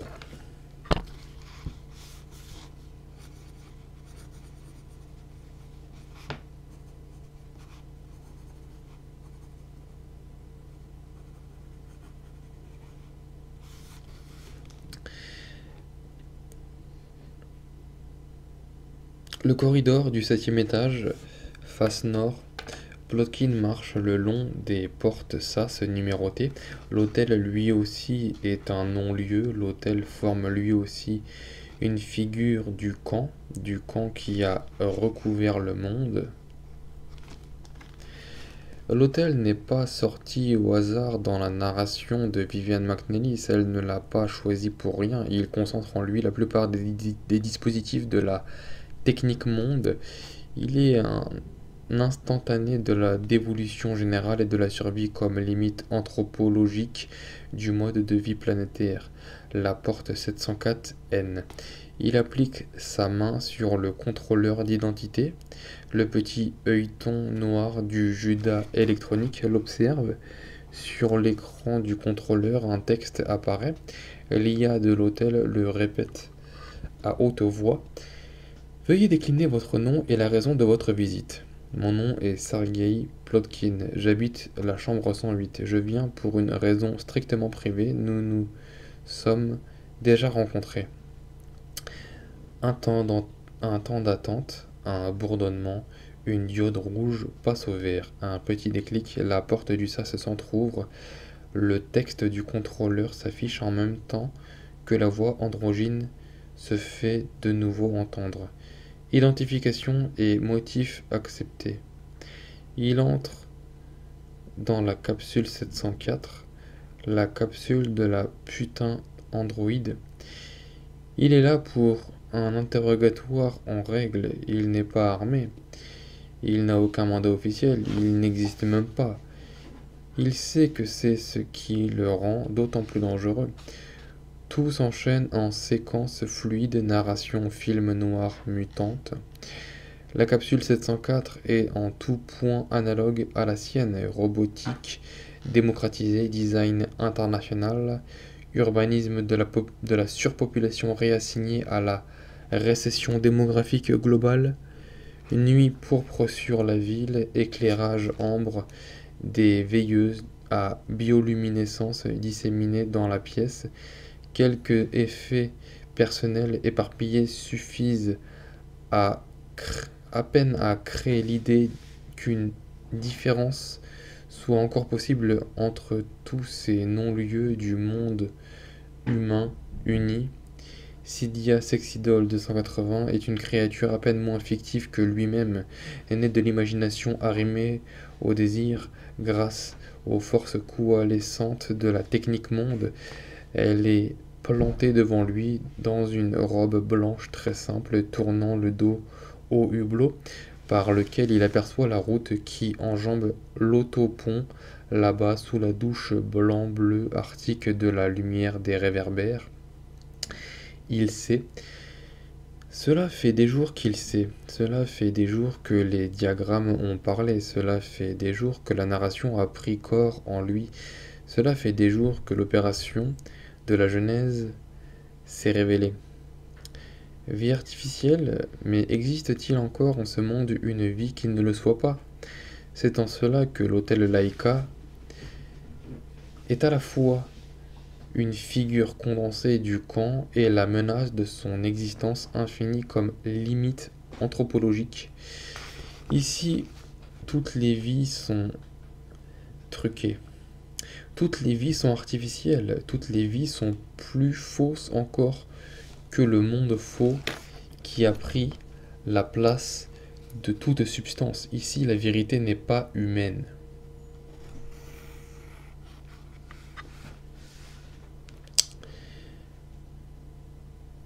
Zone de choc.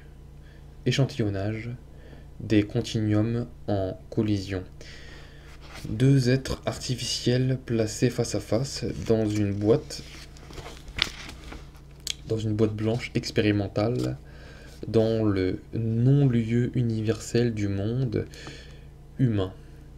Cet hôtel, la capsule, est un cosmodrome sur le déclin.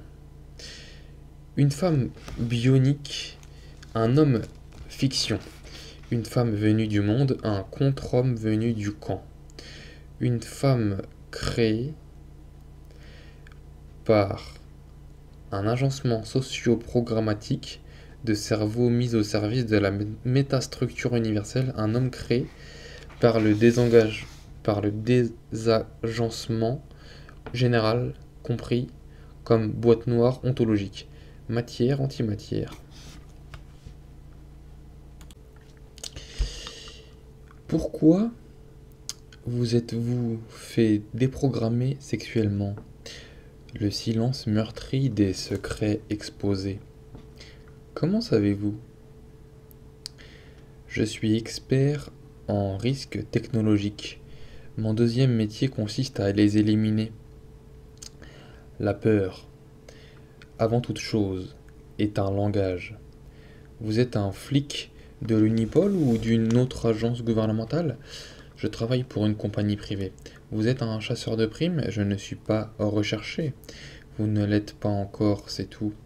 La peur naît de la présence anticipée de la menace. La peur naît d'une confusion émotionnelle des différents temps du temps. Elle naît de la possibilité que vous faites peser en tant que terroriste que le passé va conditionner l'avenir, que l'avenir est un danger pour le présent et que le présent est un péril pour lui-même. La peur est l'ombre de tous les secrets, elle n'illumine qu'elle-même. Est-ce que vous écoutez de la musique? La voix de la fille artificielle est douce le timbre voilé dans un souffle. Un très beau travail de programmation. De la musique? Oui, attends, je parle de vraie musique. Vous voulez dire d'avant le XIe siècle? Vous voulez dire d'avant le XXIe siècle? Le rire de Sidia Sexidol 280 a été lui aussi très joliment programmé. Oui, et même d'avant, car il y avait un monde avant le XXe siècle, le saviez-vous? Son sourire à lui est celui de la nuit, la nuit d'avant le monde. Il semblerait qu'on se soit ingénié à en faire disparaître toute trace. La musique que l'androïde a choisie comme bande sonore se convolute avec grâce dans l'espace de la capsule 704. Scarlatti avait dit-elle. C'était un de ces exercices pour clavecin du catalogue Kirkpatrick. La musique prend corps dans l'espace sous forme de grains de lumière qui s'attirent et se repoussent en créant et détruisant sans cesse d'étonnantes constellations harmoniques. Il y a comme une voix chorale, l'écho d'un soleil réverbéré qui apparaît dans le métal aigre du vieil instrument baroque. Les clavecins célestes sont probablement faits d'or pur, anges nébuleux sinuant entre les angles durs du néon et de l'acier s'élevant en cœur lumineux vers le ciel vitré de la nuit post-urbain. Deux mondes, l'un ayant disparu, l'autre sur le point de disparaître, entre collision sous le ciel électrique. Les chérubins de sodium et de néon, les archanges du minuit atomique s'élèvent au-dessus du point d'impact. Arrêtez votre bavardage insignifiant, cela ne prendra pas avec moi. La voix de Plotkin a résonné sèchement dans l'espace, tapissé des teintures d'or de Scarlatti, coupant net le flot de paroles que la fille artificielle improvisait au fur et à mesure, dans un effort désespéré pour camoufler la vérité. Je vais vous dire, moi, pourquoi vous avez fait griller les trois milliards de nanocomposants de vos centres sexuels. Et pourquoi? Jette-t-elle sur un air de défi. Parce que vous vous êtes converti à la religion catholique ou évangélique. Parce que vous êtes une rebelle chrétienne. Même le couteau le plus tranchant ne peut couper son manche. Vous connaissez cet aphorisme africain, je suppose? C'est pourquoi vous êtes ici.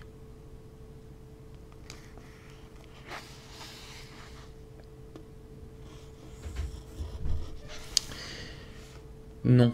Et que signifie-t-il dans la situation présente? Il signifie que toute action mécanique a ses limites. Il signifie que toute action humaine a ses limites. Il signifie donc que votre action a atteint ses limites. Il signifie que vous ne pouvez pas cacher vos réelles motivations plus longtemps.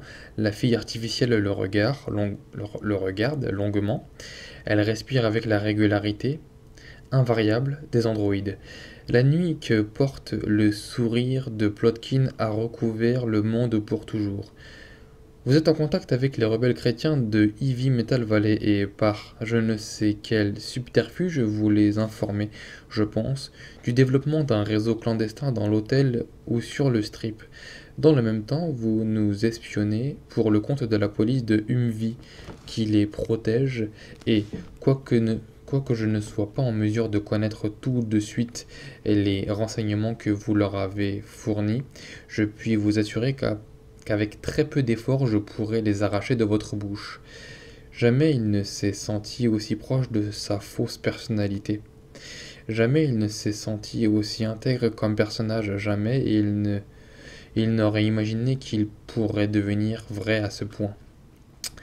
La peur est un champ quantique d'un côté, l'opérateur radar observe le champ quantique et les perturbations éventuelles qui lui indiqueraient la présence de l'objet ennemi, un tressaillement du visage, une crispation, un mouvement involontaire, une fuite du regard.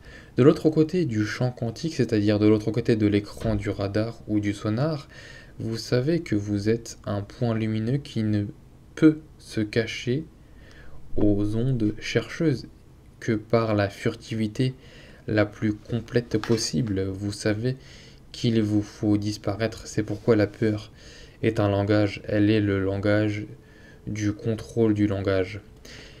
D'une part, je ne suis pas sûr que votre opération soit légale, d'autre part, il est clair que votre affiliation aux religions interdites risque de vous valoir une reprogrammation mémorielle générale, reprend Plotkin. Vous n'avez strictement aucune preuve de ce que vous avancez. Je suis sûr que si, je suis certain que vous avez laissé des traces compromettantes tout autour de vous, jusque dans votre chambre.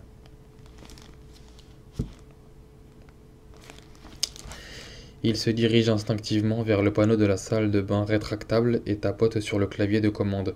Lorsque la salle de bain est extraite du mur, mais sous sa forme salle d'urgence, panic room, des reliques catholiques, crucifix, Vierge Marie, une icône grecque orthodoxe apparaissent cachées dans des endroits invisibles pour la caméra de surveillance panoramique du plafond.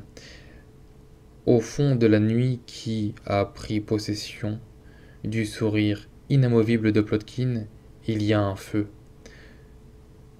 Ce feu coule de sa bouche, il enflamme chacun de ses actes, il irradie la moindre de ses pensées, il consume peu à peu toute son existence et celle des autres.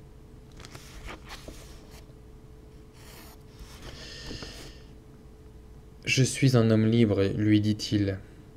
Je suis désormais le mercenaire de mes vies en devenir et je protège un ange tout autant qu'il me protège. Je suis je dois savoir comment vous opérez.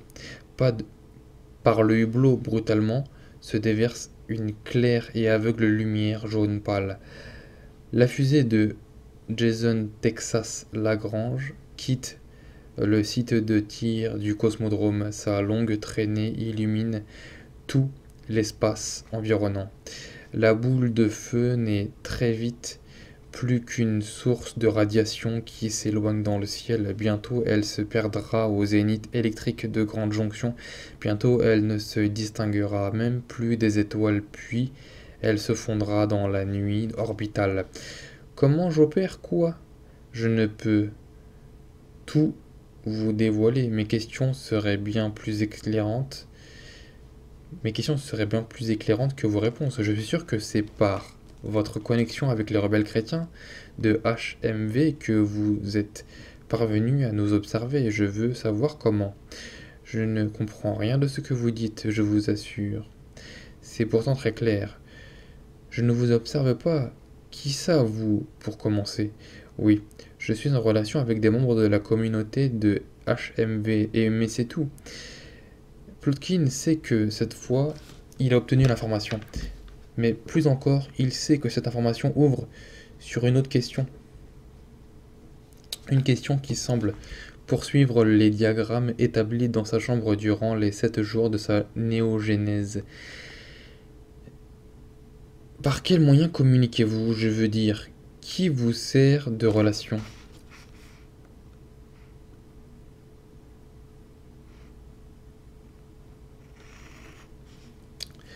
Car il y a obligatoirement un qui. Il y a obligatoirement un qui. Un être autonome, même une autre machine au demeurant. Du moment qu'il s'agit d'une personne, l'autre, Andro, ferait, ferait parfaitement l'affaire, par exemple. La fille artificielle dans sa robe blanche, la fille artificielle et ses yeux de velours, la fille artificielle peut-elle vraiment rêver de saint catholique Peut-elle avoir la foi? Peut-on convertir pour de bon un androïde à une religion? La fille artificielle le regarde, après avoir contemplé l'ascension de la fusée dans la nuit pourpre de Grande Jonction. Elle le, regarde, elle, le regarde avec l'air de dire alors, légèrement dépassée par les questions ouvertes. Un maigre sourire ourle le coin de ses lèvres. Elle sait qu'elle a perdu le match, mais elle vient de marquer un point pour l'honneur. C'est le chien, avait-elle dit. Oui, le chien de l'hôtel Balthazar. Il me sert de messager. De go between. Nous nous. Nous nous sommes pris d'affection dès mon arrivée. Il lui arrive souvent de traîner dans les étages supérieurs surtout lorsque son maître vient sous le dôme. Plotkin camoufle du mieux qu'il peut la petite estocade qu'il vient de recevoir. La fille artificielle est branchée avec le chien. Le chien monte parfois dans les étages supérieurs comme à la suite de son maître, sans avoir le droit de pénétrer dans le sein des saints. La fille artificielle sait que le proprio de l'hôtel vient régulièrement sous le dôme, mais on ignore probablement les raisons. Il faut très vite éluder la question. Il ne faut pas qu'elle établisse le moindre rapport entre Clovis Drummond et les clandestins chrétiens, ou quoi que ce soit d'autre. Le chien cherche à vous faire accepter des humains réfugiés à HMV Oui. Pour le moment, ils me demandent de rester encore quelque temps à l'hôtel Laïka. Ils m'ont dit que l'Unipol était à leur trousse. Le chien, pense Plotkin, ce chien avait une âme, largement plus que son Homo sapiens de maître. Nexus Road. Le jour se lève sur l'hôtel Laïka. Un homme, seul dans sa chambre, la capsule 108 ouest, un homme libre du fond de sa cellule observe la lente dégradation de la nuit vers le bleu indigo qui se teinte peu à peu d'une lueur émeraude, annonçant la présence des jaunes rayons du soleil, encore retenus derrière l'horizon. Devant lui, le monde s'éveille, c'est la petite enfance du jour. C'est le petit jour de sa nouvelle enfance. Devant lui, la vie est un roman à écrire, libre, libre de tout programme d'instruction, de tout plan pour tuer tel ou tel homme, libre de toute connivence, libre de toute contingence.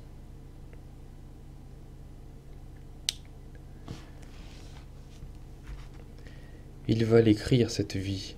Bien sûr, sa, narration sera transcrite dans le cerveau de Viviane McNellis, mais il en sera l'auteur.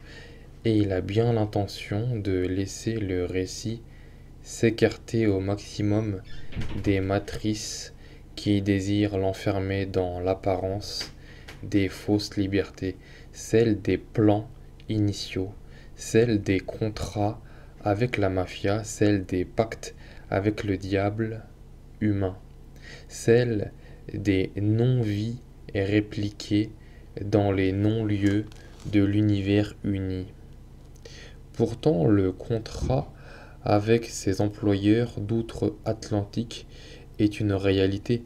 Là-dessus, Viviane McNellis a été claire. Il est probable, il est probable que la mafia de Novosibirsk n'appréciera que fort moyennement ce non-respect des termes de l'entente. Il se pourrait que cela puisse être apparenté à une trahison. Il réalise à cet instant que la liberté a un prix et que ce prix c'est précisément la trahison, la trahison de tout ce qui désintègre en permanence la liberté dans l'espace grand ouvert de la métastructure de contrôle et de l'ensemble de ces rhizomes mafieux, flicards, humanitaires, culturels, techniques.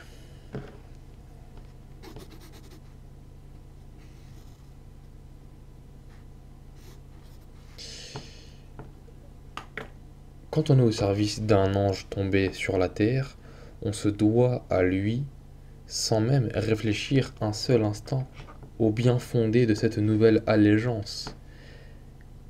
On se doit de vivre et de combattre depuis sa cellule de liberté. Il est son garde du corps, il est son bouclier de feu dans le monde d'en bas. Il est l'homme venu du camp. Sa vraie vie, ce sont ces quelques pages d'aphorismes et de diagrammes, les feuillets des sept jours de sa genèse rétro-écrite dans la solitude de la capsule 108. Sa vraie vie, c'est devenir l'allié de la fille tombée du ciel contre tous les rouages du monde. Sa vraie vie, ce serait d'être au service de la narration divine et non plus assujetti aux règles d'un quelconque employeur même l'un des plus craints et des plus respectés de sa corporation.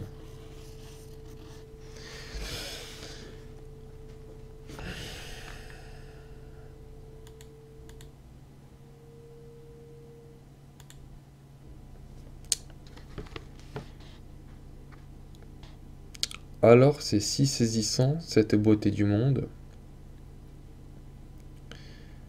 Les particules d'infrarouge, frappe les surfaces miroitantes des hautes tours de verre du centre-ville, éclat de feu irradiant le mercure des vitres matinales. Il pourrait tout à la fois danser comme l'électron affolé hors de son orbite, ou tomber à genoux et prier, le visage en pleurs.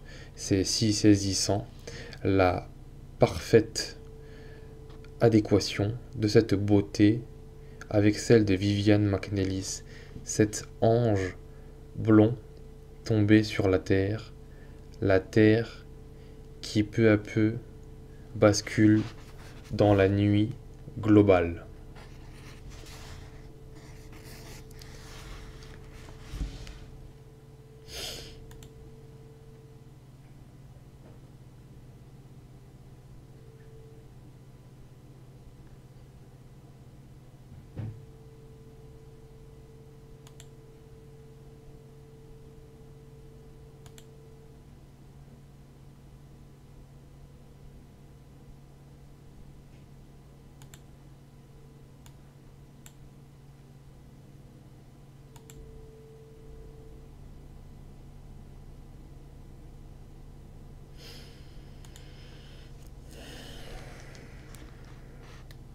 C'était idiot, n'est-ce pas? Mais tout ce qu'il allait entreprendre à partir de maintenant, ce qu'il avait déjà commencé d'entreprendre contre tout ce qui aurait pu être lui, toute cette narration divergente qu'il conduirait de lui-même. Il le ferait par amour, par amour pour elle, et sans même l'espérance concrète de le voir partager en retour. L'absence d'espoir attisait d'autant plus l'incandescence aveuglante du sentiment, un sentiment si totalement inattendu qu'il ne pouvait combler aucune attente. Il lui semblait au contraire que quelque chose le creusait de l'intérieur, une lumière l'emplissait, mais pour mieux le vider. Il en était bouleversé comme plongé dans le bain de gloire en provenance d'un vitrail aux dimensions infinies, celle de toute sa conscience. Amour et trahison du monde allaient de pair. Amour et réécriture de soi-même allaient de pair. Amour et transvaluation de sa propre vie allaient de pair. Il comprenait mieux pourquoi Viviane McNellis était reliée de façon si singulière à la figure du feu. L'amour était un péril plus grand encore que la liberté, qui pourtant les contenait tous, car celle-ci pouvait tout entière se consumer pour lui, et elle pouvait aisément consumer tout un monde au passage.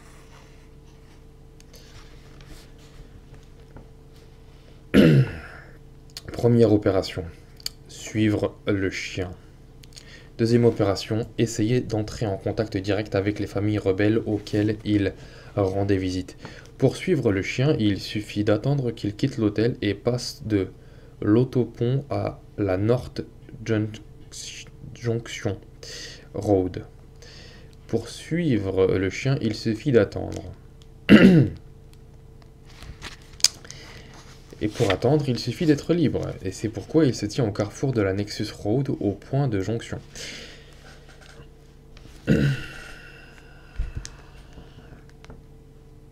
Cette fois-ci, le chien n'a pas pris vers le nord en direction de Heavy Metal Valley. Il a, obliqué, il a obliqué plein sud, là où il n'y a rien, sinon le bout de la route, Junkville.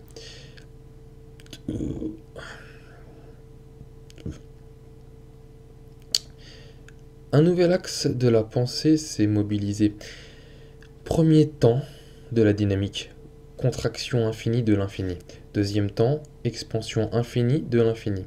Troisième temps, contre-divisé, multiplexification des mondes actuels. Quatrième temps, contre-divisé à son tour, réunification poétique de l'être. Dans son champ de vision, la Saturne de location orange garée au bord de la chaussée sur la North Junction.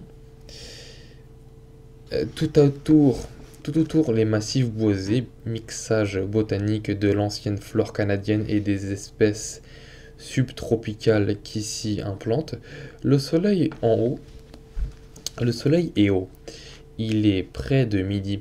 La lumière est droite la chaleur est déjà étouffante, il n'y a nul besoin d'enquête, d'investigation, nul besoin de traquer l'androïde femelle ou le mâle pour savoir d'où venait le trou noir de la narration. Il suffisait de suivre le chien. Nul besoin d'empiler encore des tonnes d'informations, de faire du traitement de données, de répertorier cartes et territoires. La narration était à lui. Il convenait d'en faire un instrument à la mesure de la beauté de la fille tombée, du ciel. La beauté ne se livre pas tout de suite, elle est la voix du mystère, du vrai, celui caché non en soi-même, mais dans l'autre, dans l'abîme du jeu. Lorsqu'elle essaie de vous guider vers elle, la beauté fera en sorte d'être sélective. Elle se, elle se déguisera peut-être en une cendrillon couverte de haillons afin de déterminer si oui ou non Vous êtes celui qui sera digne de courir à la recherche de la princesse, un soulier de verre à la main. Il lui arrive même de se cacher non seulement de se cacher dans les laideurs apparentes du monde, mais plus encore derrière ce qui en lui subsiste de beauté pure et sauvage. Et il lui arrive de parvenir à faire les deux en même temps.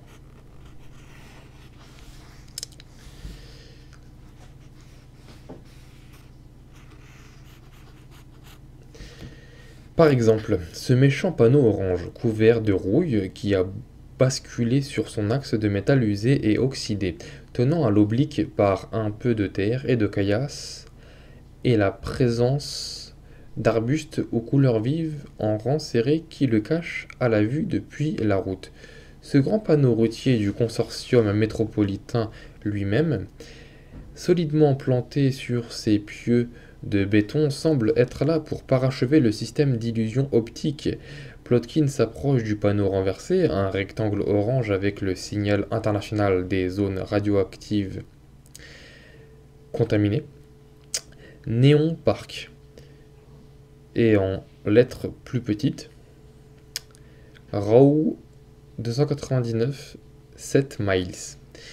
Le panneau semble indiquer la direction contraire à Heavy Metal Valley. Il ne l'avait pas vu les fois précédentes en voiture depuis le carrefour.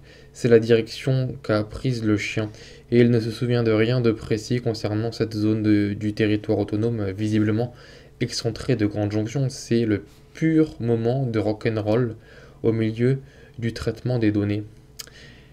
C'est l'irruption de la vie dans le schéma inanimé, le surgissement de l'intuition dans le cône, et déjà presse qu'il s'engouffre vers une terra incognita, une zone grise de la carte, et l'intuition lui dicte que c'est justement ce qu'il cherche ou le début de ce qu'il cherche, un trou noir.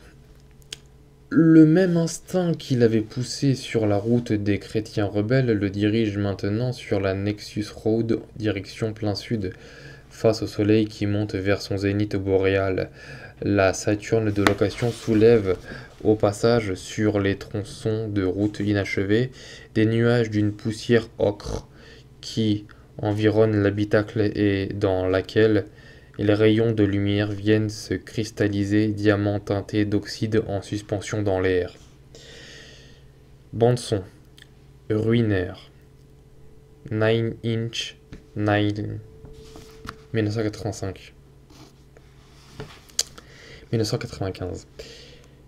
C'est bleu cobalt, noir, argent, rouge, du rouge très sombre des crépuscules des civilisations. La rythmique avance imperturbablement comme un métronome cadencé sur le battement de cœur des villes cybernétiques.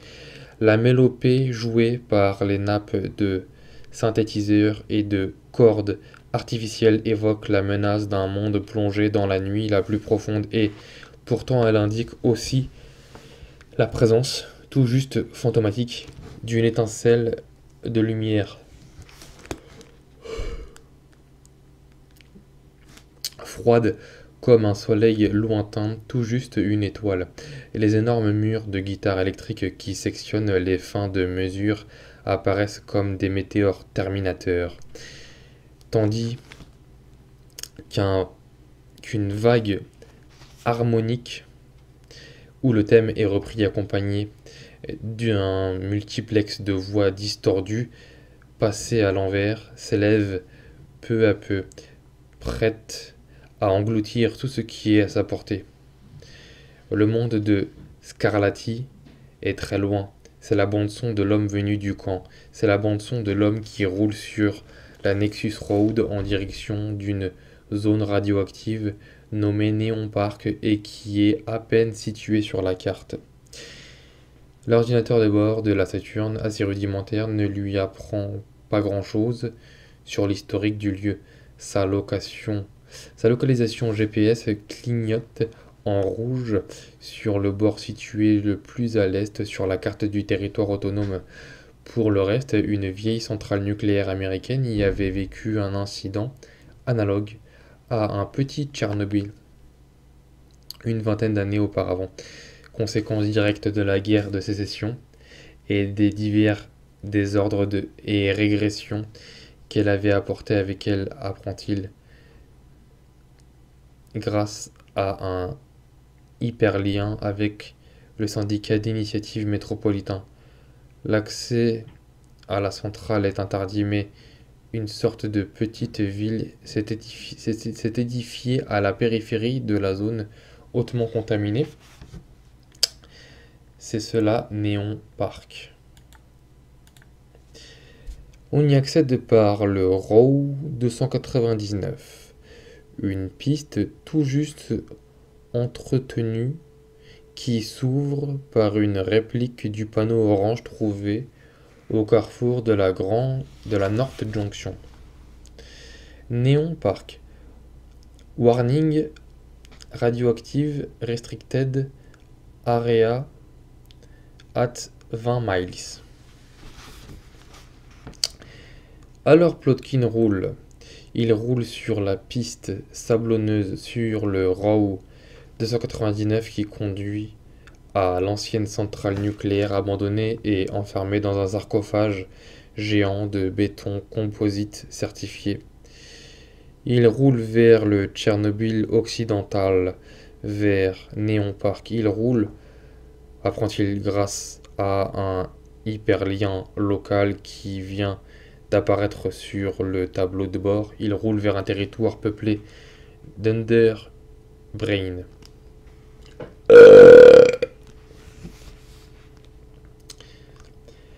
Underbrain, pirate du réseau hacker, mais aussi bioinformaticien, renégat et ou au chômage.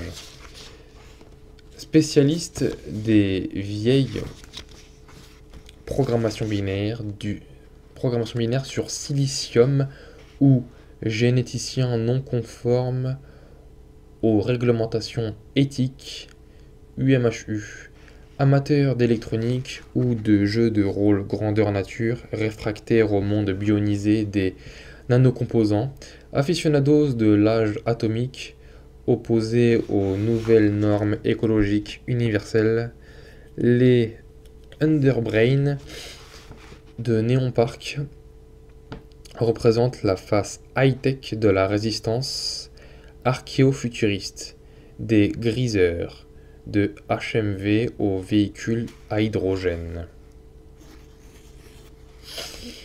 Oui, c'était bien ça. C'était le lieu. C'était le lien. C'était là.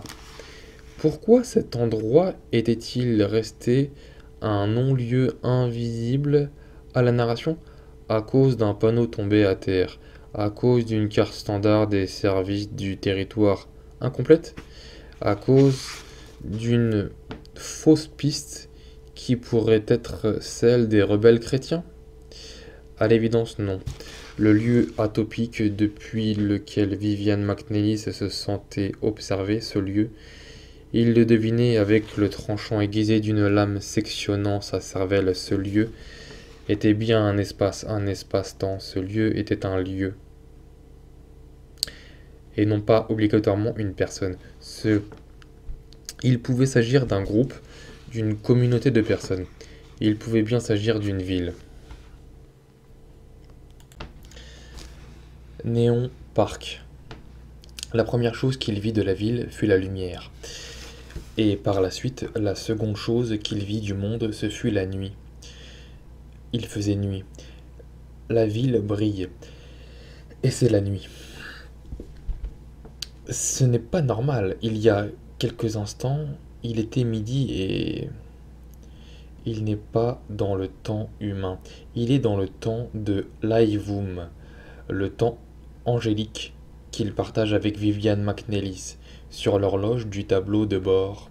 Les LED digitales sont bloquées sur 4 zéros en barrette bleue monochrome. Et Viviane McNellis est là, sur le siège passager, observant avec attention le paysage lunaire qui se découvre à leurs yeux, alors que le Row 299 s'extrait brusquement d'un paysage de buttes boisées.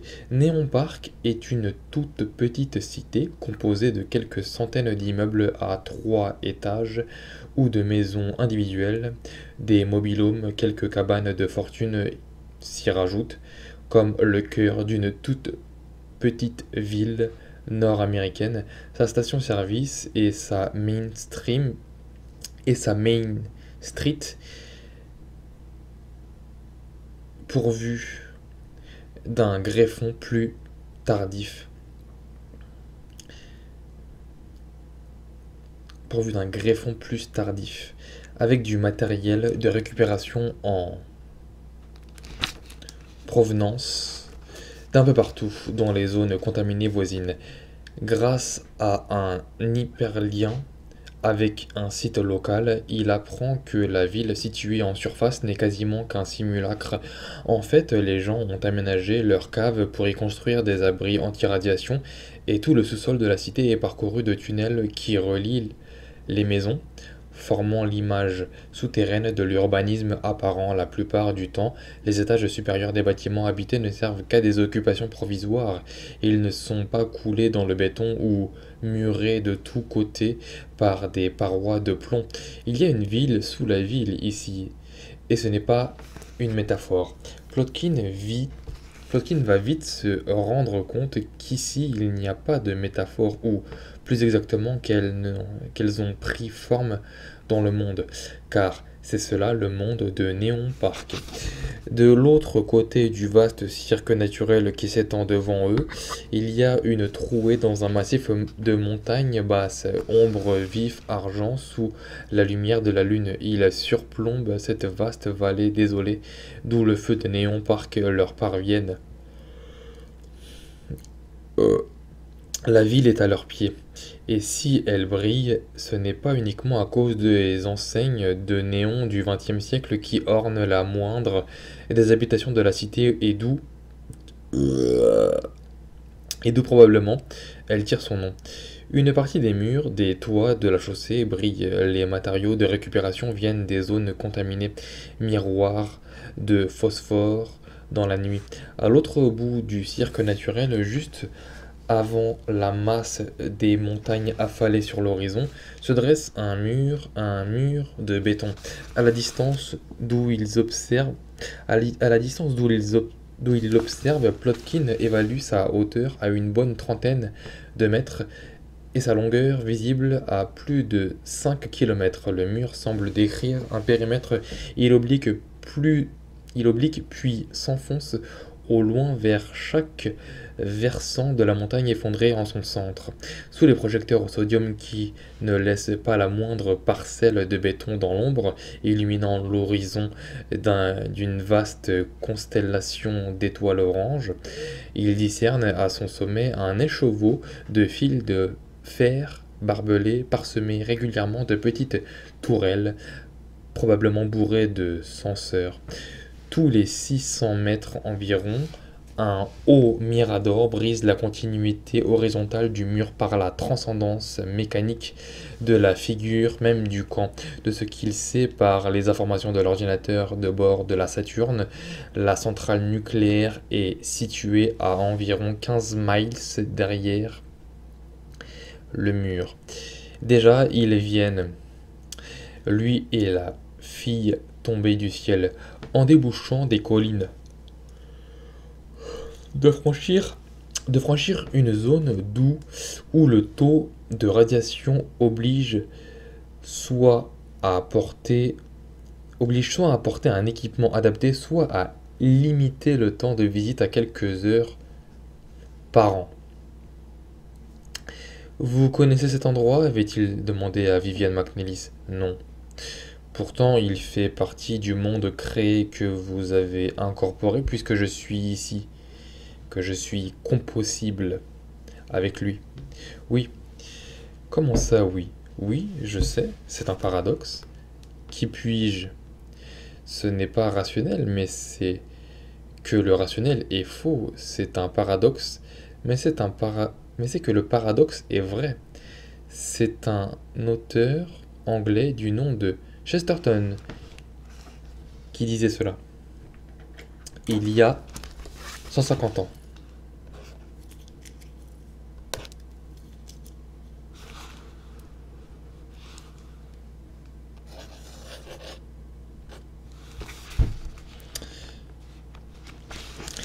Bien.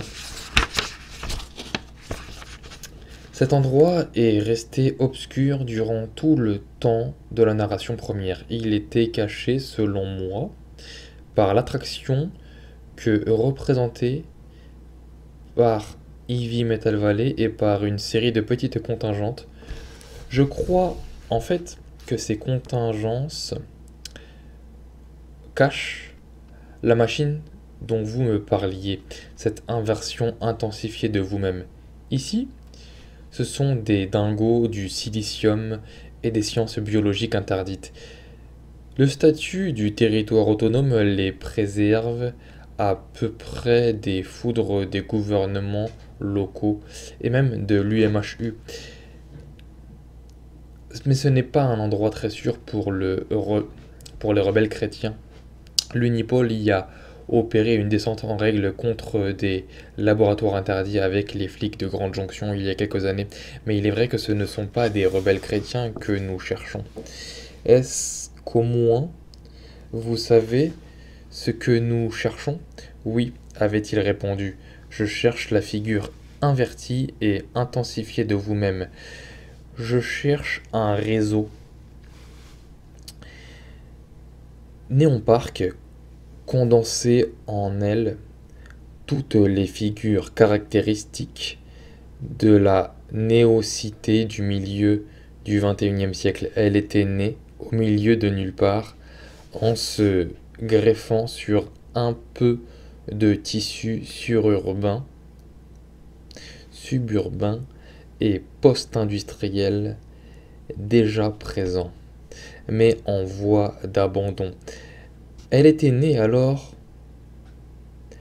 que la dévolution générale commençait.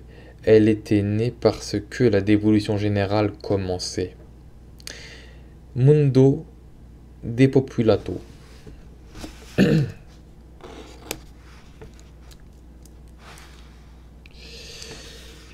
Cela fait 30 ans maintenant que le taux de natalité de la population mondiale est en baisse et chaque décennie, le phénomène s'amplifie la fin du grand djihad a correspondu au moment où la dynamique de la dépopulation globale s'est mise à exploser sous le nez des agences de gouvernance.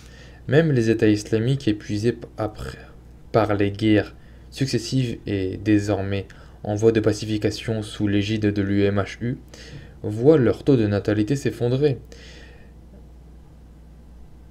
pandémie, guerre civile planétaire, terrorisme métalocal, accident technologique, catastrophe écologique, puis dépopulation sociétale, conjuguée en l'espace d'une génération, tout s'est brutalement accéléré peu de temps après sa naissance, sa première naissance fictive à Moscou durant l'été 2001 sa première naissance si réelle, juste devant le bord de l'abîme.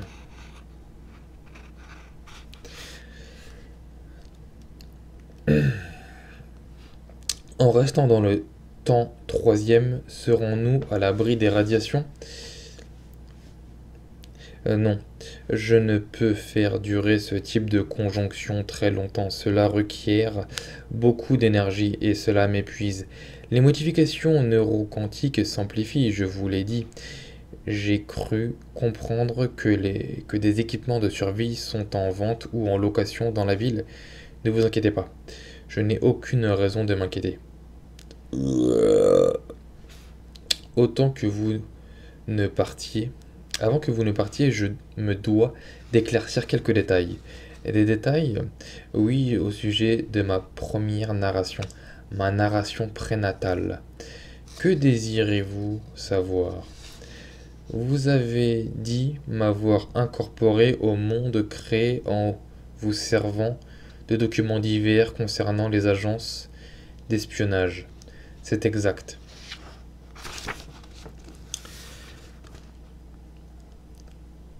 Vous êtes-vous servi uniquement de faits réels ou également de fiction?